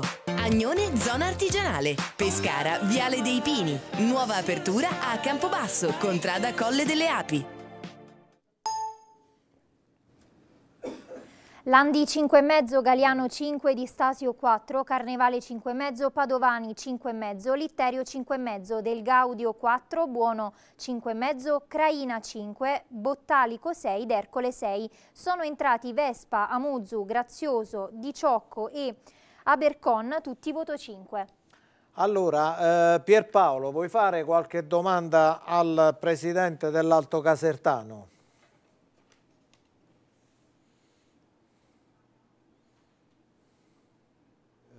Tornando eh. all'argomento all'ordine del giorno degli ultimi mesi, naturalmente la ripartenza, eh, non c'è nulla di ufficioso, tantomeno di ufficiale, così come eh, non credo esista un modo eh, che non sia falsato di, di, riprendere, bisogna scegliere il meno falsato possibile da quello che, che, si è capito. Secondo lei quale può essere la via maestra considerando anche il fatto che eh, la maggior parte delle società, nella fattispecie quelle che non hanno investito, possono essere in disapprovo? Io, mm, io, penso che il campionato di eccellenza sia un campionato che appunto eh, dà lo sbocco in Serie D, quindi un campionato di tutt'altra categoria, quindi con la sua importanza, non deve essere, deve, mm, non deve essere fermato e se deve ripartire deve, deve ripartire con, ehm, per, mm, in, e non deve essere falsato. Per fare ciò eh, bisogna continuare, bisogna fare eh, un campionato, magari anche se vada anche in giugno inoltrato, ma bisogna fare andata e ritorno, anche perché eh, è vero, le società che magari hanno investito meno, eh, magari possono avere meno interesse, però nello stesso tempo hanno, stanno partecipando, benché fermi in questo momento, a un campionato di eccellenza. Per cui campionato di eccellenza è un campionato eh, di un certo livello e deve essere onorato anche da quelle squadre che magari hanno investito meno. Quindi o, o, il campionato si fosse giocato tra novembre e febbraio o magari si va un po' più avanti, secondo me sono fermamente convinto che tutti quanti dobbiamo onorare questo, questo prosieguo. Sì, cosa che voi state continuando a fare dall'inizio e vi siete mossi anche sul mercato durante questo periodo di inattività? Sì, abbiamo preso un centravanti, Costagliola, un classe 2001 che arriva dalla Paganese, eh, già si è unito al gruppo, eh, ma diciamo mh, perdiamo, perdiamo purtroppo Marco Di Matteo che per motivi di lavoro si è trasferito al nord eh, e questo ci dispiace tanto, ma la società si sta muovendo anche per poterlo, poterlo rimpiazzare in quel ruolo che stava facendo il centrocampista, lo sta facendo anche molto bene. Sì, eh, Alto Casertano mi dichiarava anche a microfoni spenti un progetto in cui lei crede molto. Sì, io credo nel progetto Alto Casertano, così come tutto il mio staff. Eh, abbiamo aperto delle scuole calcio su tutto il territorio, Presenzano, Pietramelara, Capriati al Volturno, perché crediamo nei giovani, crediamo che domani l'Alto Casertano possa arrivare lontano, il progetto è di arrivare nel calcio che conta nei prossimi cinque anni. E ci stiamo organizzando per poterci, per poterci riuscire. Eh, siamo stanchi di vedere giovani talenti che magari vanno a giocare nella Spalla, che magari vanno a giocare nel Salsuolo, poco, poco, proprio nelle, nelle, scorse settimane un giovane talento nostra, del nostro territorio è andato al nord, e vorremmo cercare eh, nel nostro obiettivo di poter dare eh, una collocazione calcistica anche tra i prof professionisti nel nostro territorio. Il nostro territorio, eh, l'Alto Casertano fa circa 250.000 persone, quindi eh, crediamo che se lavoriamo sodo e con impegno possiamo raggiungere l'obiettivo. È molto difficile, però almeno abbiamo un sogno. Studio, eh, dunque, Presidente, una cosa che volevo ecco, eh, sottolineare, che eh, per esempio c'è stato l'anno scorso l'esempio del, del, comprensorio Vairano, che poi ha fatto questa fusione col, col Treppini, quindi giocano a Piedimonte Matese, quindi eh, in qualche maniera mi sembra di, risenti, cioè sentire te, eh, in qualche maniera mi sembra di eh, risentire quello che diceva il mio amico Luigi Rega, no? che eh, l'anno scorso tutti prendevano alla fine per visionario, alla fine eh, il progetto si è concretizzato e quindi eh, tra l'altro si stanno comportando anche bene il Matese. Io penso che abbia tutte le carte in regola anche per salvarsi quest'anno nel campionato di Serie D. Quindi complimenti voglio dire per, per, questa, per questo, questo, progetto e questo sogno, anche se quest'anno c'è poi da vincere la, la concorrenza dell'Isernia.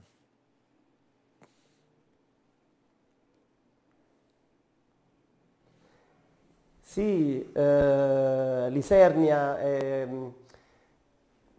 al momento sulla carta è la nostra principale antagonista, ma credo, ecco perché io ci terrei che il campionato si svolgesse regolarmente con partite di and- con girone di andata e ritorno, mi rendo conto che è difficile, ma credo che una compagine che debba vincere un campionato con l'approdo in Serie D deve eh, dimostrare tutto il suo valore non in poche partite ma nell'arco di tutto il campionato.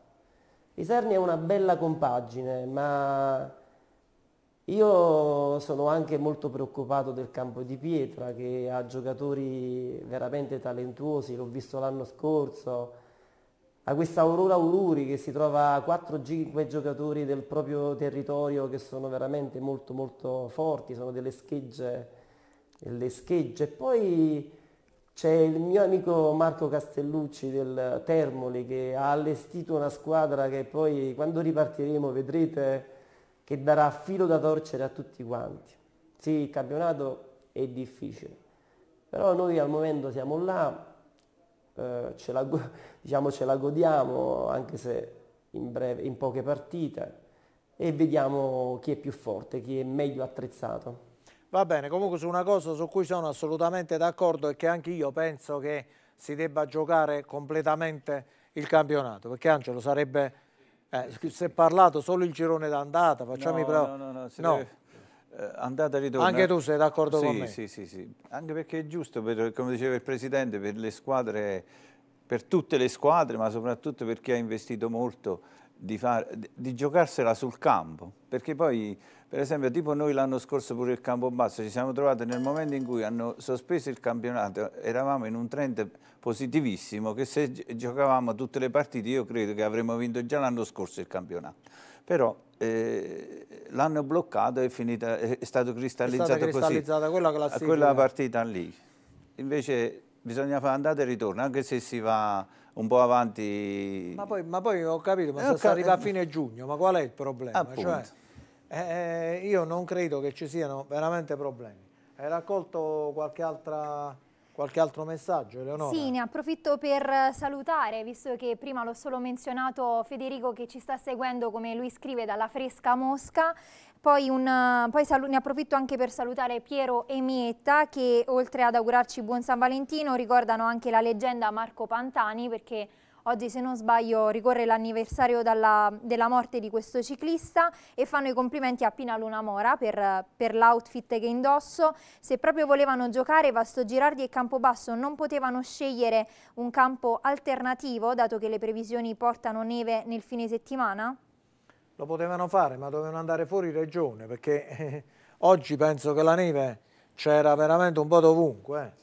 Sì, Molisana Basket con problemi legati sicuramente alla scelta delle giocatrici anche se molti infortuni hanno condizionato il campionato. Eh, poi eh, consolidiamo il secondo posto alle spalle del Manfredonia con una gara da recuperare. Sabato prossimo ci attende la trasferta sul campo del Futsal Cobà, Forza Cus Molise. Ritrova il sorriso il Montegiorgio che dopo il neutro, che, che sul neutro di eh, Villa San Filippo batte nettamente 3-0 l'Olimpia Agnonese, largamente innovata ma che latita ancora per quanto concerne l'amalgama del gruppo. Eh, tanti complimenti all'FC Matese che questo pomeriggio ha deciso di scendere in campo e riprendere in mano il campionato nonostante i casi Covid presenti nel gruppo squadra. Infatti avrebbe potuto rinviare e ha deciso avrebbe di... Avrebbe potuto chiedere un altro rinvio perché ne aveva ancora sei, eh? che erano positivi. positivi.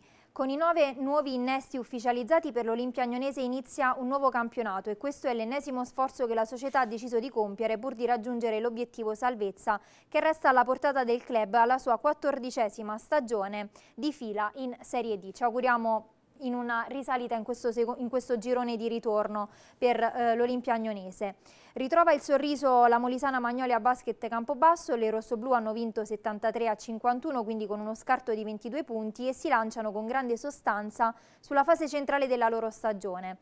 Testa e cuore a Broni, ora per i fiori d'acciaio, per proseguire nel proprio eh, percorso di crescita.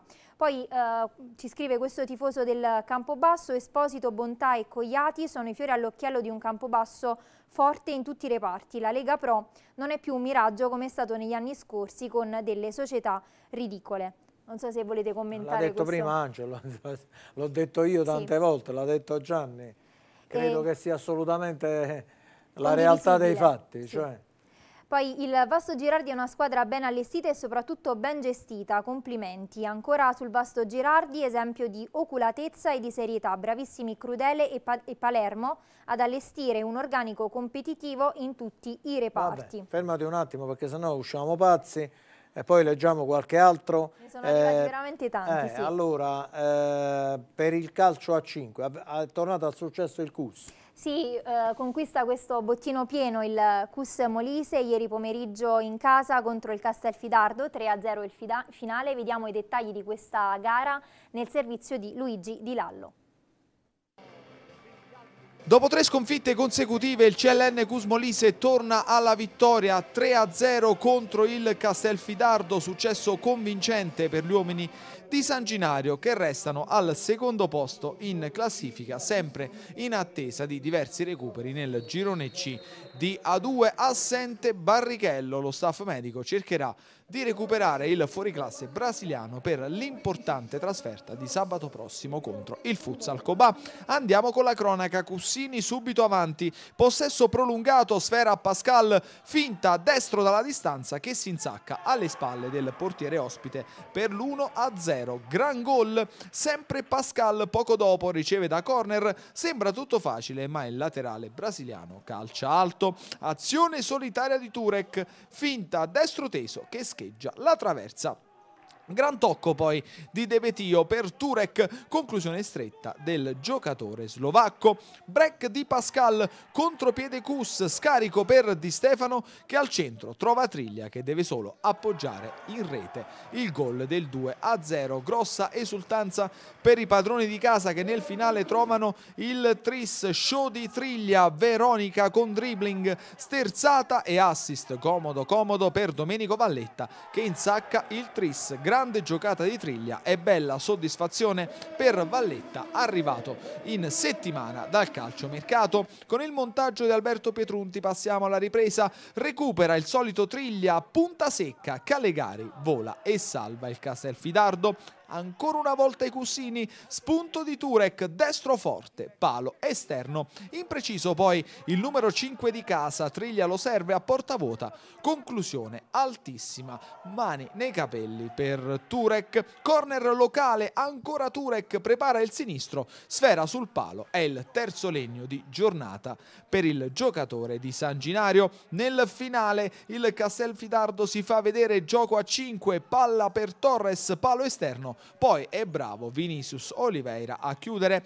Ultima chance per gli ospiti, gialloneri avanti, destro basso di Pereira Silva. Ottimo intervento di Vinicius, il classe 2002, che ha sostituito in questa gara Roman. Dunque tre punti importanti per il Cus Molise. Settimana di riposo sabato prossimo. Si gioca in trasferta contro il Futsal Cobà. Va bene, ci fermiamo ancora un, due o tre minuti. Facciamo un'altra breve sosta pubblicitaria, restate con noi, torniamo tra poco sempre in diretta con Domenica Sport. Allora, torniamo in diretta, dico subito, poi mh, deve dire una- un'altra cosa anche Eleonora, però insomma, eh, dunque mi scrive Benedetta, eh, causa maltempo, domani 15 febbraio, scuole di ogni ordine e grado chiuse a Campobasso. E ci mancava, hanno fatto veramente bene, io non lo so chi l'ha presa la decisione, forse il sindaco, eh, di concerto con il provveditore, però insomma ci sono andati mai, non ci vanno da marzo questi ragazzi a scuola, domani giustamente eh, era giusto stare chiuso un altro giorno per, per maltempo, a parte che domani il tempo migliora, però vabbè, insomma dovremmo entrare in tante dinamiche, io per esempio potrei dire, abitando in una contrada che non, è, non sono pulite le contrade eh, quando c'è un po' di neve oppure quando c'è ghiaccio, Ghiaccio, il sale si, ehm, si butta giustamente in centro, nelle, nelle contrade ci arrangiamo, insomma, eh, però vabbè, inutile fare polemiche, passiamo alle notizie serie. Comunque domani scuole chiuse, vabbè, saranno contenti tutti i ragazzi che eh, non ci vanno. Adesso figurati Angelo e Franco si ricorda anche lui, noi facevamo sciopero per non andare a scuola, adesso hanno organizzato gli scioperi per andare.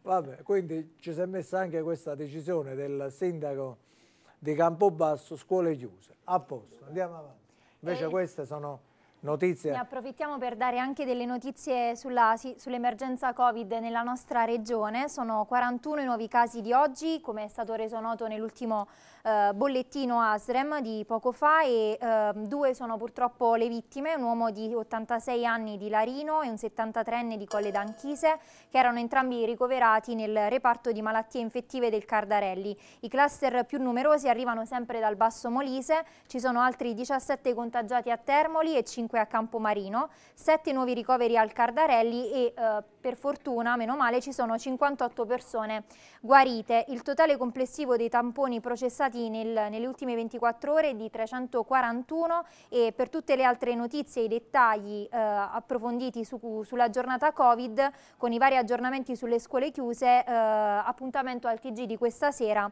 in onda alle 22 appunto noi abbiamo, fatto, abbiamo detto queste anticipazioni però insomma appena finisce questa trasmissione ci sarà il telegiornale con notizie molto più approfondite. Io vorrei chiedere a Pino Somma, che evidentemente abbiamo detto che i cluster sono in basso Molise. Pino, evidentemente ti sei data la pazza gioia. Ma speriamo di no, effettivamente i dati non sono brillanti, c'è questa situazione che purtroppo rispecchia un po' l'andamento di quello che sta succedendo anche un po' in tutta Italia. E effettivamente è un po' strano, stiamo, dobbiamo stringere i denti, soprattutto cercare di mantenere e rispettare le regole, quelle che ci sono, cosa che probabilmente non è stata fatta nel migliore dei modi, adesso ovviamente stiamo, stiamo pagando quello che si è fatto un po' nell'ultimo periodo. Bene, se possibile l'audio di Termoli aumentatemelo proprio un attimo, intanto siete andati a Vasto insieme ad Alessandro e eh, Amedeo Nardella, è una vastese in grande spolvero, poi adesso vedremo anche il servizio.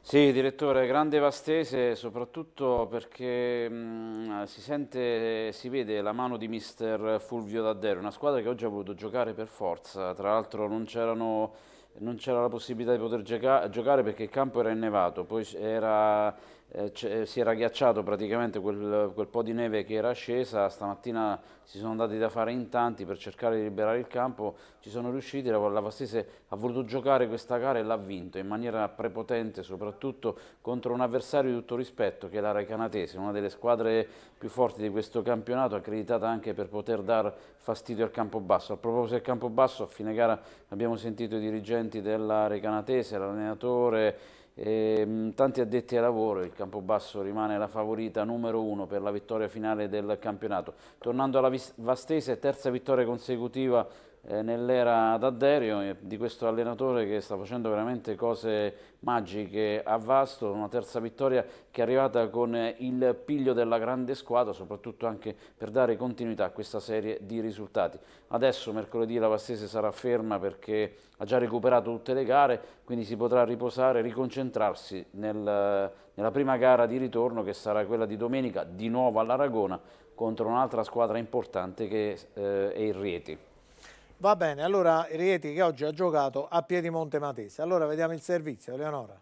Come anticipava Pino Somma, in serie positiva la Vastese che ha superato questo pomeriggio all'Aragona di Vasto per 2-0 la Recanatese. Vediamo il servizio. Terza vittoria consecutiva per la Vastese che supera l'Aragona, anche la Recanatese che arriva, eh, scende in basso Abruzzo. Dopo il pareggio casalingo con il Vasto Girardi, Vastese forte della prima vittoria in trasferta sul campo del, del Porto Sant'Elpidio, qualche giro di lancetta e si fa pericolosa la formazione ospite con il tentativo ravvicinato da parte di Pezzotti e la grande risposta da parte di Marco Di Rienzo che a piedi uniti Uniti. Riesce a ribattere la conclusione all'undicesimo. La Vastese si fa vedere con il tiro di forza da parte di Arras. Spera dal limite, spera abbondantemente alta sulla traversa. Costruisce la Vastese che ha macinato tantissimo gioco. Qui il cross di Diallo, sfera allontanata. Il piattone con il sinistro di Di Prisco e la grande risposta in tuffo di Di Chirico che va a negare la gioia del gol al giocatore campano. Qui la, il calcio di punizione di Senigaliesi quando siamo al ventunesimo con la sfera di poco alta sulla traversa. 35esimo Martinez prova sulla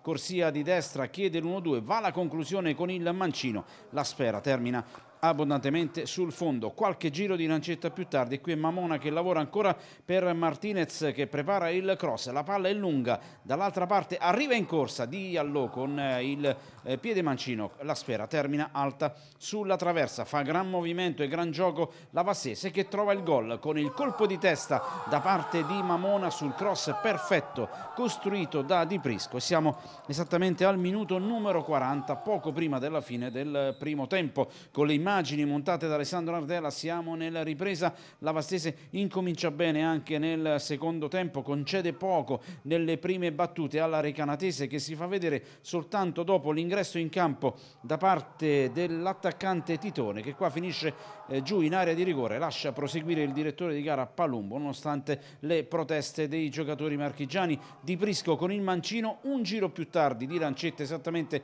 al ventunesimo riesce a parare De Chirico ci prova Pera sul calcio di punizione, è stratosferico Marco Di Rienzo che in tuffo gli va a negare l'occasione del pareggio. Qui proprio da un rinvio lungo da parte di Di Rienzo parte il contropiede della sua compagine della Vastesa e qui c'è il fallo netto di Candidi, nuovo entrato su Di Prisco per il direttore di gara Palumbo, c'è il rosso diretto verso il giocatore da poco in campo, Recanatese che rimane in 10, siamo al 35esimo della ripresa, nel finale Mabona fa tutto lui, si impossessa del pallone rubandolo a Gomez, si invola, si presenta a tu per tu con Chirico e scarica in rete il gol del, del 2-0, quello della sicurezza ma soprattutto quello che va a festeggiare il Mamona Day per questo ragazzo giovanissimo arrivato da Pesaro. Vince la Vastese che batte la Recanatese per 2-0. Allora, qui c'era un fallo, mi pare, nel secondo tempo su Titone, non lo so, per la Recanatese, non so se... No, no, il fallo aveva protestato ah, a un ah, certo okay. punto, credo, è vero Pino Somma, ha protestato la Recanatese per la mancata assegnazione di un calcio di rigore. Sì, ha protestato la Recanatese, chiedeva il penalty, però a parte il giocatore che ha protestato, poco c'è stato, il direttore di gara ha lasciato subito eh, andare via tutti. Vabbè, però insomma se ce l'abbiamo lo possiamo al limite vedere, tanto per completare eh, il discorso su questa, eh, su, su, su, sul touchscreen in questa, in questa trasmissione. Eh, Franco Dell'Ellis eh, hai detto che continuate comunque l'attività, quindi quella nazionale continua, i prossimi appuntamenti? Allora si dovrebbe completare la fase del cross che ha avuto già due interruzioni la settimana scorsa per la zona rossa di Larino, si sarebbe, dovuta, si sarebbe dovuto gareggiare a Larino e questa, questa domenica qui a Vinchiaturo, quindi eh, dovremmo avere ancora qualche incontro di, di, indoor e poi attendiamo la ripresa della, della, stagione su pista che è ancora lontana da venire, si parla dei primi di aprile. Però gli allenamenti li fate? Sì, sì, l'allenamento è regolare, devo dire che i ragazzi mai come quest'anno vengono molto volentieri al campo, malgrado le condizioni climatiche avverse, perché è un'occasione per, per, uscire dal contesto familiare, per socializzare, ecco, oltre che per allenarsi. E quindi sfruttiamo questa situazione. Per la verità abbiamo sfruttato anche eh, diciamo, il contenimento dell'attività diciamo, della, dell nelle palestre. Molte attività, molte attività sportive che non, che, non, che non, fossero professionistiche non, non possono usare più le palestre. E quindi abbiamo avuto degli ingressi eh, molto graditi magari dal nuoto, dalla pallavolo, dalla pallacanestro, insomma. Ecco. Quindi godiamo di questo favore in questa fase. Vabbè, devo dire che tu, eh, anche tu ci sei da quanto? Da una, da una cifra d'anni? Ma è meglio non dirlo perché No, vabbè, abbiamo diciamolo. superato i 50 anni. Ecco, di... Che sta alla Polisportiva Molise. Sì. Sei presidente Sì. da? Da quasi 30. Da quasi 30. Però Da quasi 30, sì, la. Tonino Bussone in qualche maniera era veramente Tonino l'icona, era, no, Tonino questa- era l'emblema della società. società, era il nostro riferimento eh, tecnico, eh, ma soprattutto umano. Negli ultimi tempi si era un tantino distaccato dall'attività per motivi di salute. Tonino aveva avuto diciamo, una grave affezione polmonare qualche anno fa e quindi lo abbiamo, gli abbiamo sconsigliato di frequentare i campi e quindi eh, soffriva però insomma aveva rispettato alla lettera nostra- questo nostro desiderio. Poi c'è stato il Covid dal quale per l'altro era anche uscito, ma evidentemente il fisico era minato da questo malanno precedente e dal, dal Covid stesso e quindi eh, all'improvviso ci ha lasciato. Va bene, Gianni, allora hai recuperato questo episodio. La Recanatese dunque a Vasto ha chiesto un calcio di rigore, andiamo a vedere il motivo con il nostro touchscreen, vedete Titone che riceve da, eh, da Pera, eh, si porta al limite dell'area di rigore praticamente in mezzo a tre della Vastese, qui siamo al limite, sta per cadere Tentenna col pallone fra i piedi, poi alla fine cade, il pallone viene recuperato in qualche modo dal numero 6 con la collaborazione del portiere di Rienzo della Vastese. Io credo che tu ti riferissi a questo episodio. Sì, il fallo se c'è è Eh, proprio andiamo- all'inizio, no? Sì, andiamo a vedere poi eh, le- se sono o meno fondate le proteste di Mario Titone. Ecco, dovrebbe essere questo il momento. Secondo me il fallo è, è- è prima, eh. Poi bisogna Qui vedere siamo- se è dentro qui siamo no, fuori area. Ancora, vai, l'intervento scorretto è questo. Sicuramente mi sento di dire che non possiamo parlare di No, calcio di chiediamolo a- agli ospiti, iniziamo da Angelo Rubino. Se fallo c'è... Innanzitutto e c'era il fallo, perché l'arbitro qua non ha dato proprio niente. Niente. Se c'è fallo comunque è fuori area, però io penso che già fosse in un equilibrio un po' precario, però eh, diciamo forse il contatto c'è tra il giocatore e eh, tra il difensore e l'attaccante, però è fuori area.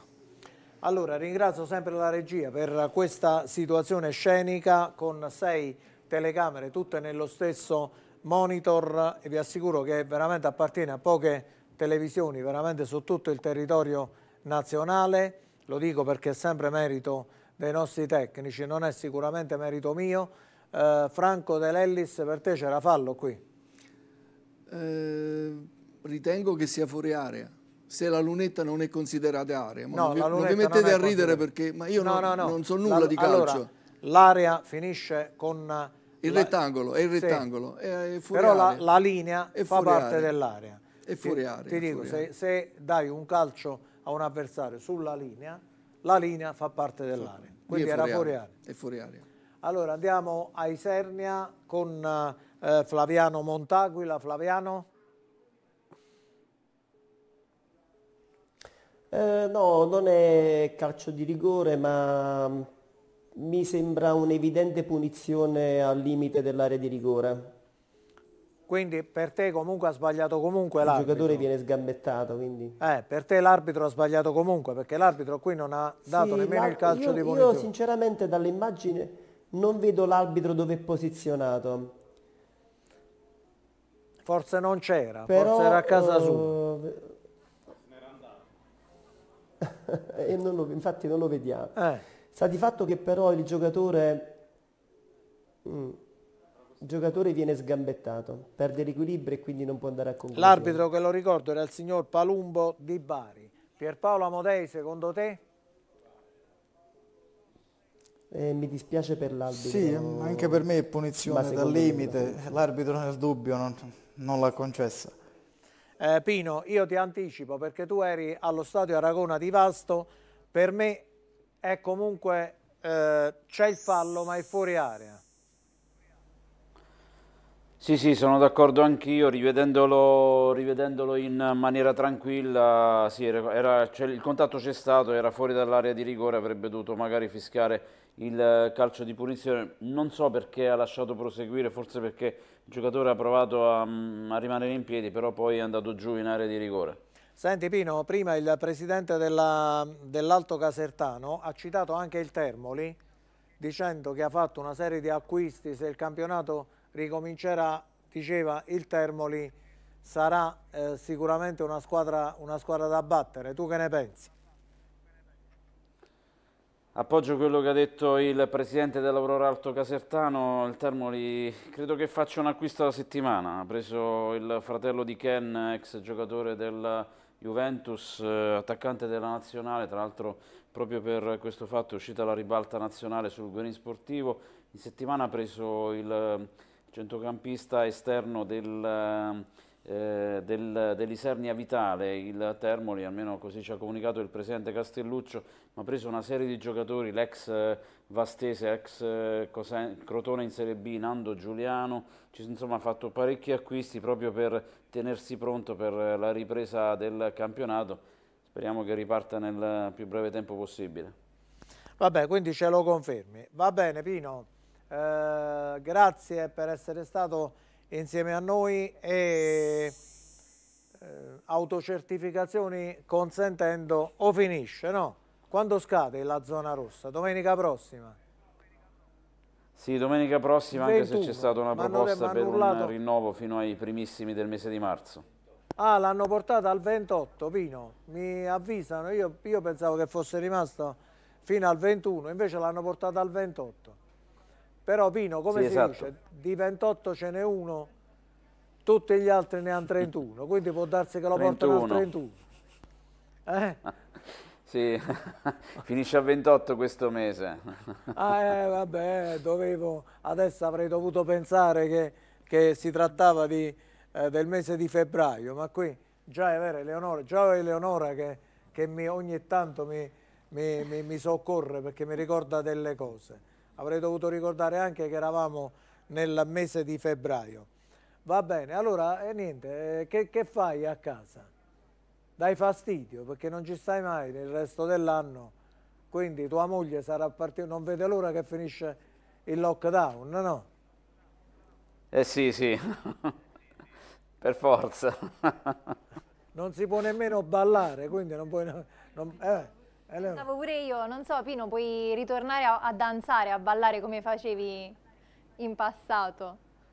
È passato un anno praticamente dall'ultima competizione di ballo che ho fatto, i primissimi del mese di febbraio dell'anno scorso, poi è arrivato il lockdown, ha bloccato tutto. Speriamo di riprendere veramente i ritmi di un tempo. Prima avevamo, avevamo diciamo, la gioia, la felicità e non ce ne rendevamo conto, adesso invece corriamo dietro a quella gioia e felicità che non c'è più. Va bene, allora restiamo così, se tua moglie non ti caccia di casa eh, ci rivedremo domenica, domenica, prossima il 21 e poi il 28. Intanto Eleonora, sì. ciao Pino, ci vediamo domenica prossima. Grazie, buona, grazie buona serata. Lo abbiamo anticipato ma ci tenevo a leggere questa ordinanza del Presidente della Regione. Eh, il Presidente appunto Donato Toma ha emanato una nuova ordinanza avente ad oggetto ulteriori misure per la prevenzione e gestione dell'emergenza eh, epidemiologica da Covid-19, in, particolar in particolare ulteriormente prorogata fino al 28 febbraio 2021 l'efficacia delle disposizioni già previste con precedenti ordinanze, quindi trasporto pubblico, mobilità interregionale, assembramento in particolari luoghi pubblici, macellazione suini a domicilio con possibilità di deroga da parte dei sindaci. Quindi no, non potete ammazzare nemmeno il maiale. A meno che il sindaco... A, a ah, meno non, che il... non, non, mettete in mezzo, dice sa, però poi il maiale passava da queste parti. Però c'è la possibilità di deroga Siccome ci dava fastidio, l'abbiamo ammazzato. No, no, Pino, non potete ammazzare nemmeno il maiale giusto? Eh, Voi a sal salva, la salva, la possibilità per i sindaci di derogare, eh? c'è sempre questa Ah, ipotesi. quindi il sindaco può derogare, può derogare... Dice, a casa, per esempio, da Versa, potete ammazzare il maiale. Ho capito. Solo la famiglia da Versa. Solo, la famiglia. Solo noi, quindi. Beh, oppure, mo tante volte, vabbè, dovrei raccontare delle cose che, eh, vabbè, che pu puoi sempre dire che il maiale si è suicidato, no? Pensavo la stessa cosa. Oh no, Franco.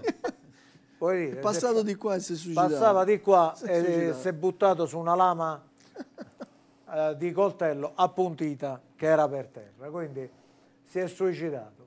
Ci dispiace, dobbiamo eh, purtroppo annotare anche il suicidio dei maiali. Vabbè, abbiamo divagato, io ringrazio Flaviano Montaquila, presidente dell'Alto Casertano nella nostra redazione di Sernia e Flaviano capita anche questo a Domenica Sport perché sai se no diventa a scuola non si va Pino Somma non può uscire fino al 28 eh, la moglie che è contraria a, questa, a questo lockdown che vorrebbe cacciarlo di casa perché dà fastidio in maniera palese in casa e quindi dobbiamo anche prenderla un po' con il sorriso, insomma, non ti spaventare. Tu è la prima volta che partecipi alla nostra trasmissione, insomma, ma non è, per fortuna non parliamo di maiali tutte le settimane, insomma.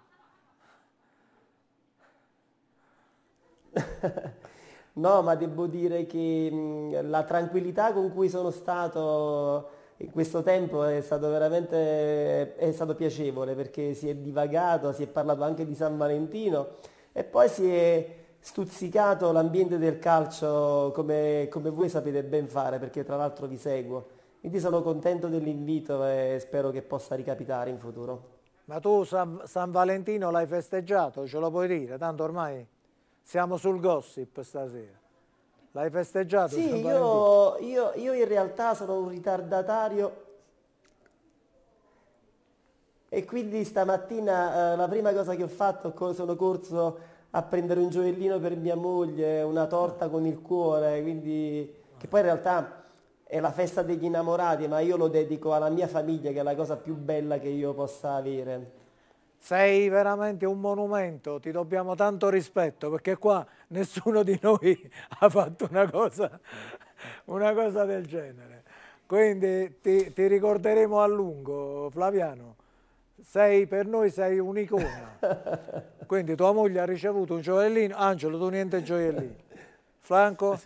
Mm, è rimandato al compleanno prossimo. Ah, vabbè, però questa storia qua, rimandiamo al prossimo. Gianni ha detto di no, Angelo tu niente gioiellini. No. Eleonora tu ne hai...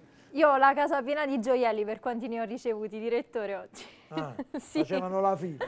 Li ho dovuti lasciare fuori casa per quanti ne ho ricevuti. Facevano la fila fuori sì. dalla porta. Eh, Pierpaolo Amodei, tu hai assolto a San Valentino o no? No, no, no, no. no. Al momento nulla. Ero sicuro della risposta. Ero proprio, mi sarei giocato. Stasera gossip, direttore. Stasera gossip. Live non è di Lallo. Eh, appunto, dobbiamo, iniziamola sta cosa qua. Va bene, vi ringrazio. Ciao Flaviano, ciao Pierpaolo, in bocca al lupo. Arrivederci. Arrivederci. Va bene, Grazie, abbiamo scherzato, Franco, eh, però insomma c'è questa, eh, questa attività che continua e quindi insomma in bocca al lupo a voi. Io sono stato con la Polisportiva Molise, tu lo sai. Ultimamente ho incontrato Renato eh, che mi ha detto che sta facendo un libro sì, eh, stiamo raccogliendo... Eh, mi ha detto tu ci sei tante volte, perché siamo, io sì. venivo praticamente costretto da, Toni, da, Tonino Bussone perché mi piaceva giocare a calcio, però siccome facevo salto in lungo e staffetta, Tonino mi diceva dai via, domenica devi venire, sabato e ci andavo. Quindi sono in tante distinte. Stiamo, eh, abbiamo ereditato da Tonino i faldoni eh, che raccontano i, i nostri 60 anni e quindi Renato eh, si sta occupando di riclassificarli e di eh, digitalizzarli in maniera tale che siano visibili con una certa agilità perché parliamo di, di una stanza piena, come questa quasi piena, piena di carte. Insomma. Ecco. Vabbè, se fate questa pubblicazione, l'ho detto già Renato, fatemelo sapere. Molto volentieri. Perché ne darò veramente ampia, ma non tanto perché ci sto, sono citato anch'io, proprio per l'importanza dei 60 anni di una società d'atletica leggera. Angelo, grazie di essere stato qua, mi grazie dispiace moltissimo per te e Marilena che siete due amici veramente carissimi che avete vissuto questa, questo periodo poi questo senza vostro figlio. senza vostro figlio, insomma, perché No, stava lui a Bologna. Lui stava a Bologna, l'abbiamo bloccato di Eh, non beh. rientrare. È rientrato quando dopo stavamo, stavamo bene. Va bene, quindi grazie di essere venuto qui. Grazie e a voi per l'invito e un saluto a tutti i telespettatori. In bocca al lupo. Va bene, io ringrazio i nostri registi Angelo Pompei, Donato Mignogna e eh, Gianni Spina, alla messa in onda Massimiliano Chiocchio, a Termoli Alessandro e ehm, Amedeo Nardella, a Isernia Tonino Di Perna e i nostri amici del Gambia Samba e Lamin. Questi sono i tecnici, solo i tecnici che partecipano a questa trasmissione. Gianni Bruno, grazie per essere stato qui. Il nostro assistente di studio Daniele Genovese e soprattutto questa splendida fanciulla che potrebbe Grazie essere mia nipote. Non più, perché prima dicevi potrebbe essere mia figlia. Adesso abituatevi pure voi, eh, perché siete molto vicini. Allora, di essere stata qua. Grazie, Grazie a Eleonora. lei direttore, è sempre un piacere. Lanciamo questa intervista a Bernardo Centracchio l'appuntamento. Sì, ringrazio nuovamente lei, i nostri ospiti e tutti i telespettatori che sono stati in nostra compagnia e che hanno avuto il piacere eh, di scriverci e interagire con noi, quindi un ringraziamento speciale a tutti voi che siete stati in nostra compagnia. Eh, dopo la pubblicità ci sarà lo speciale di Domenica Sport dedicato a questa intervista a Bernardo Centracchio, consigliere nazionale della Filcam di Judo e appuntamento a domenica prossima sempre alle 18 su Telemolise. Vi aspettiamo. Buona serata e buon inizio di settimana. Uh...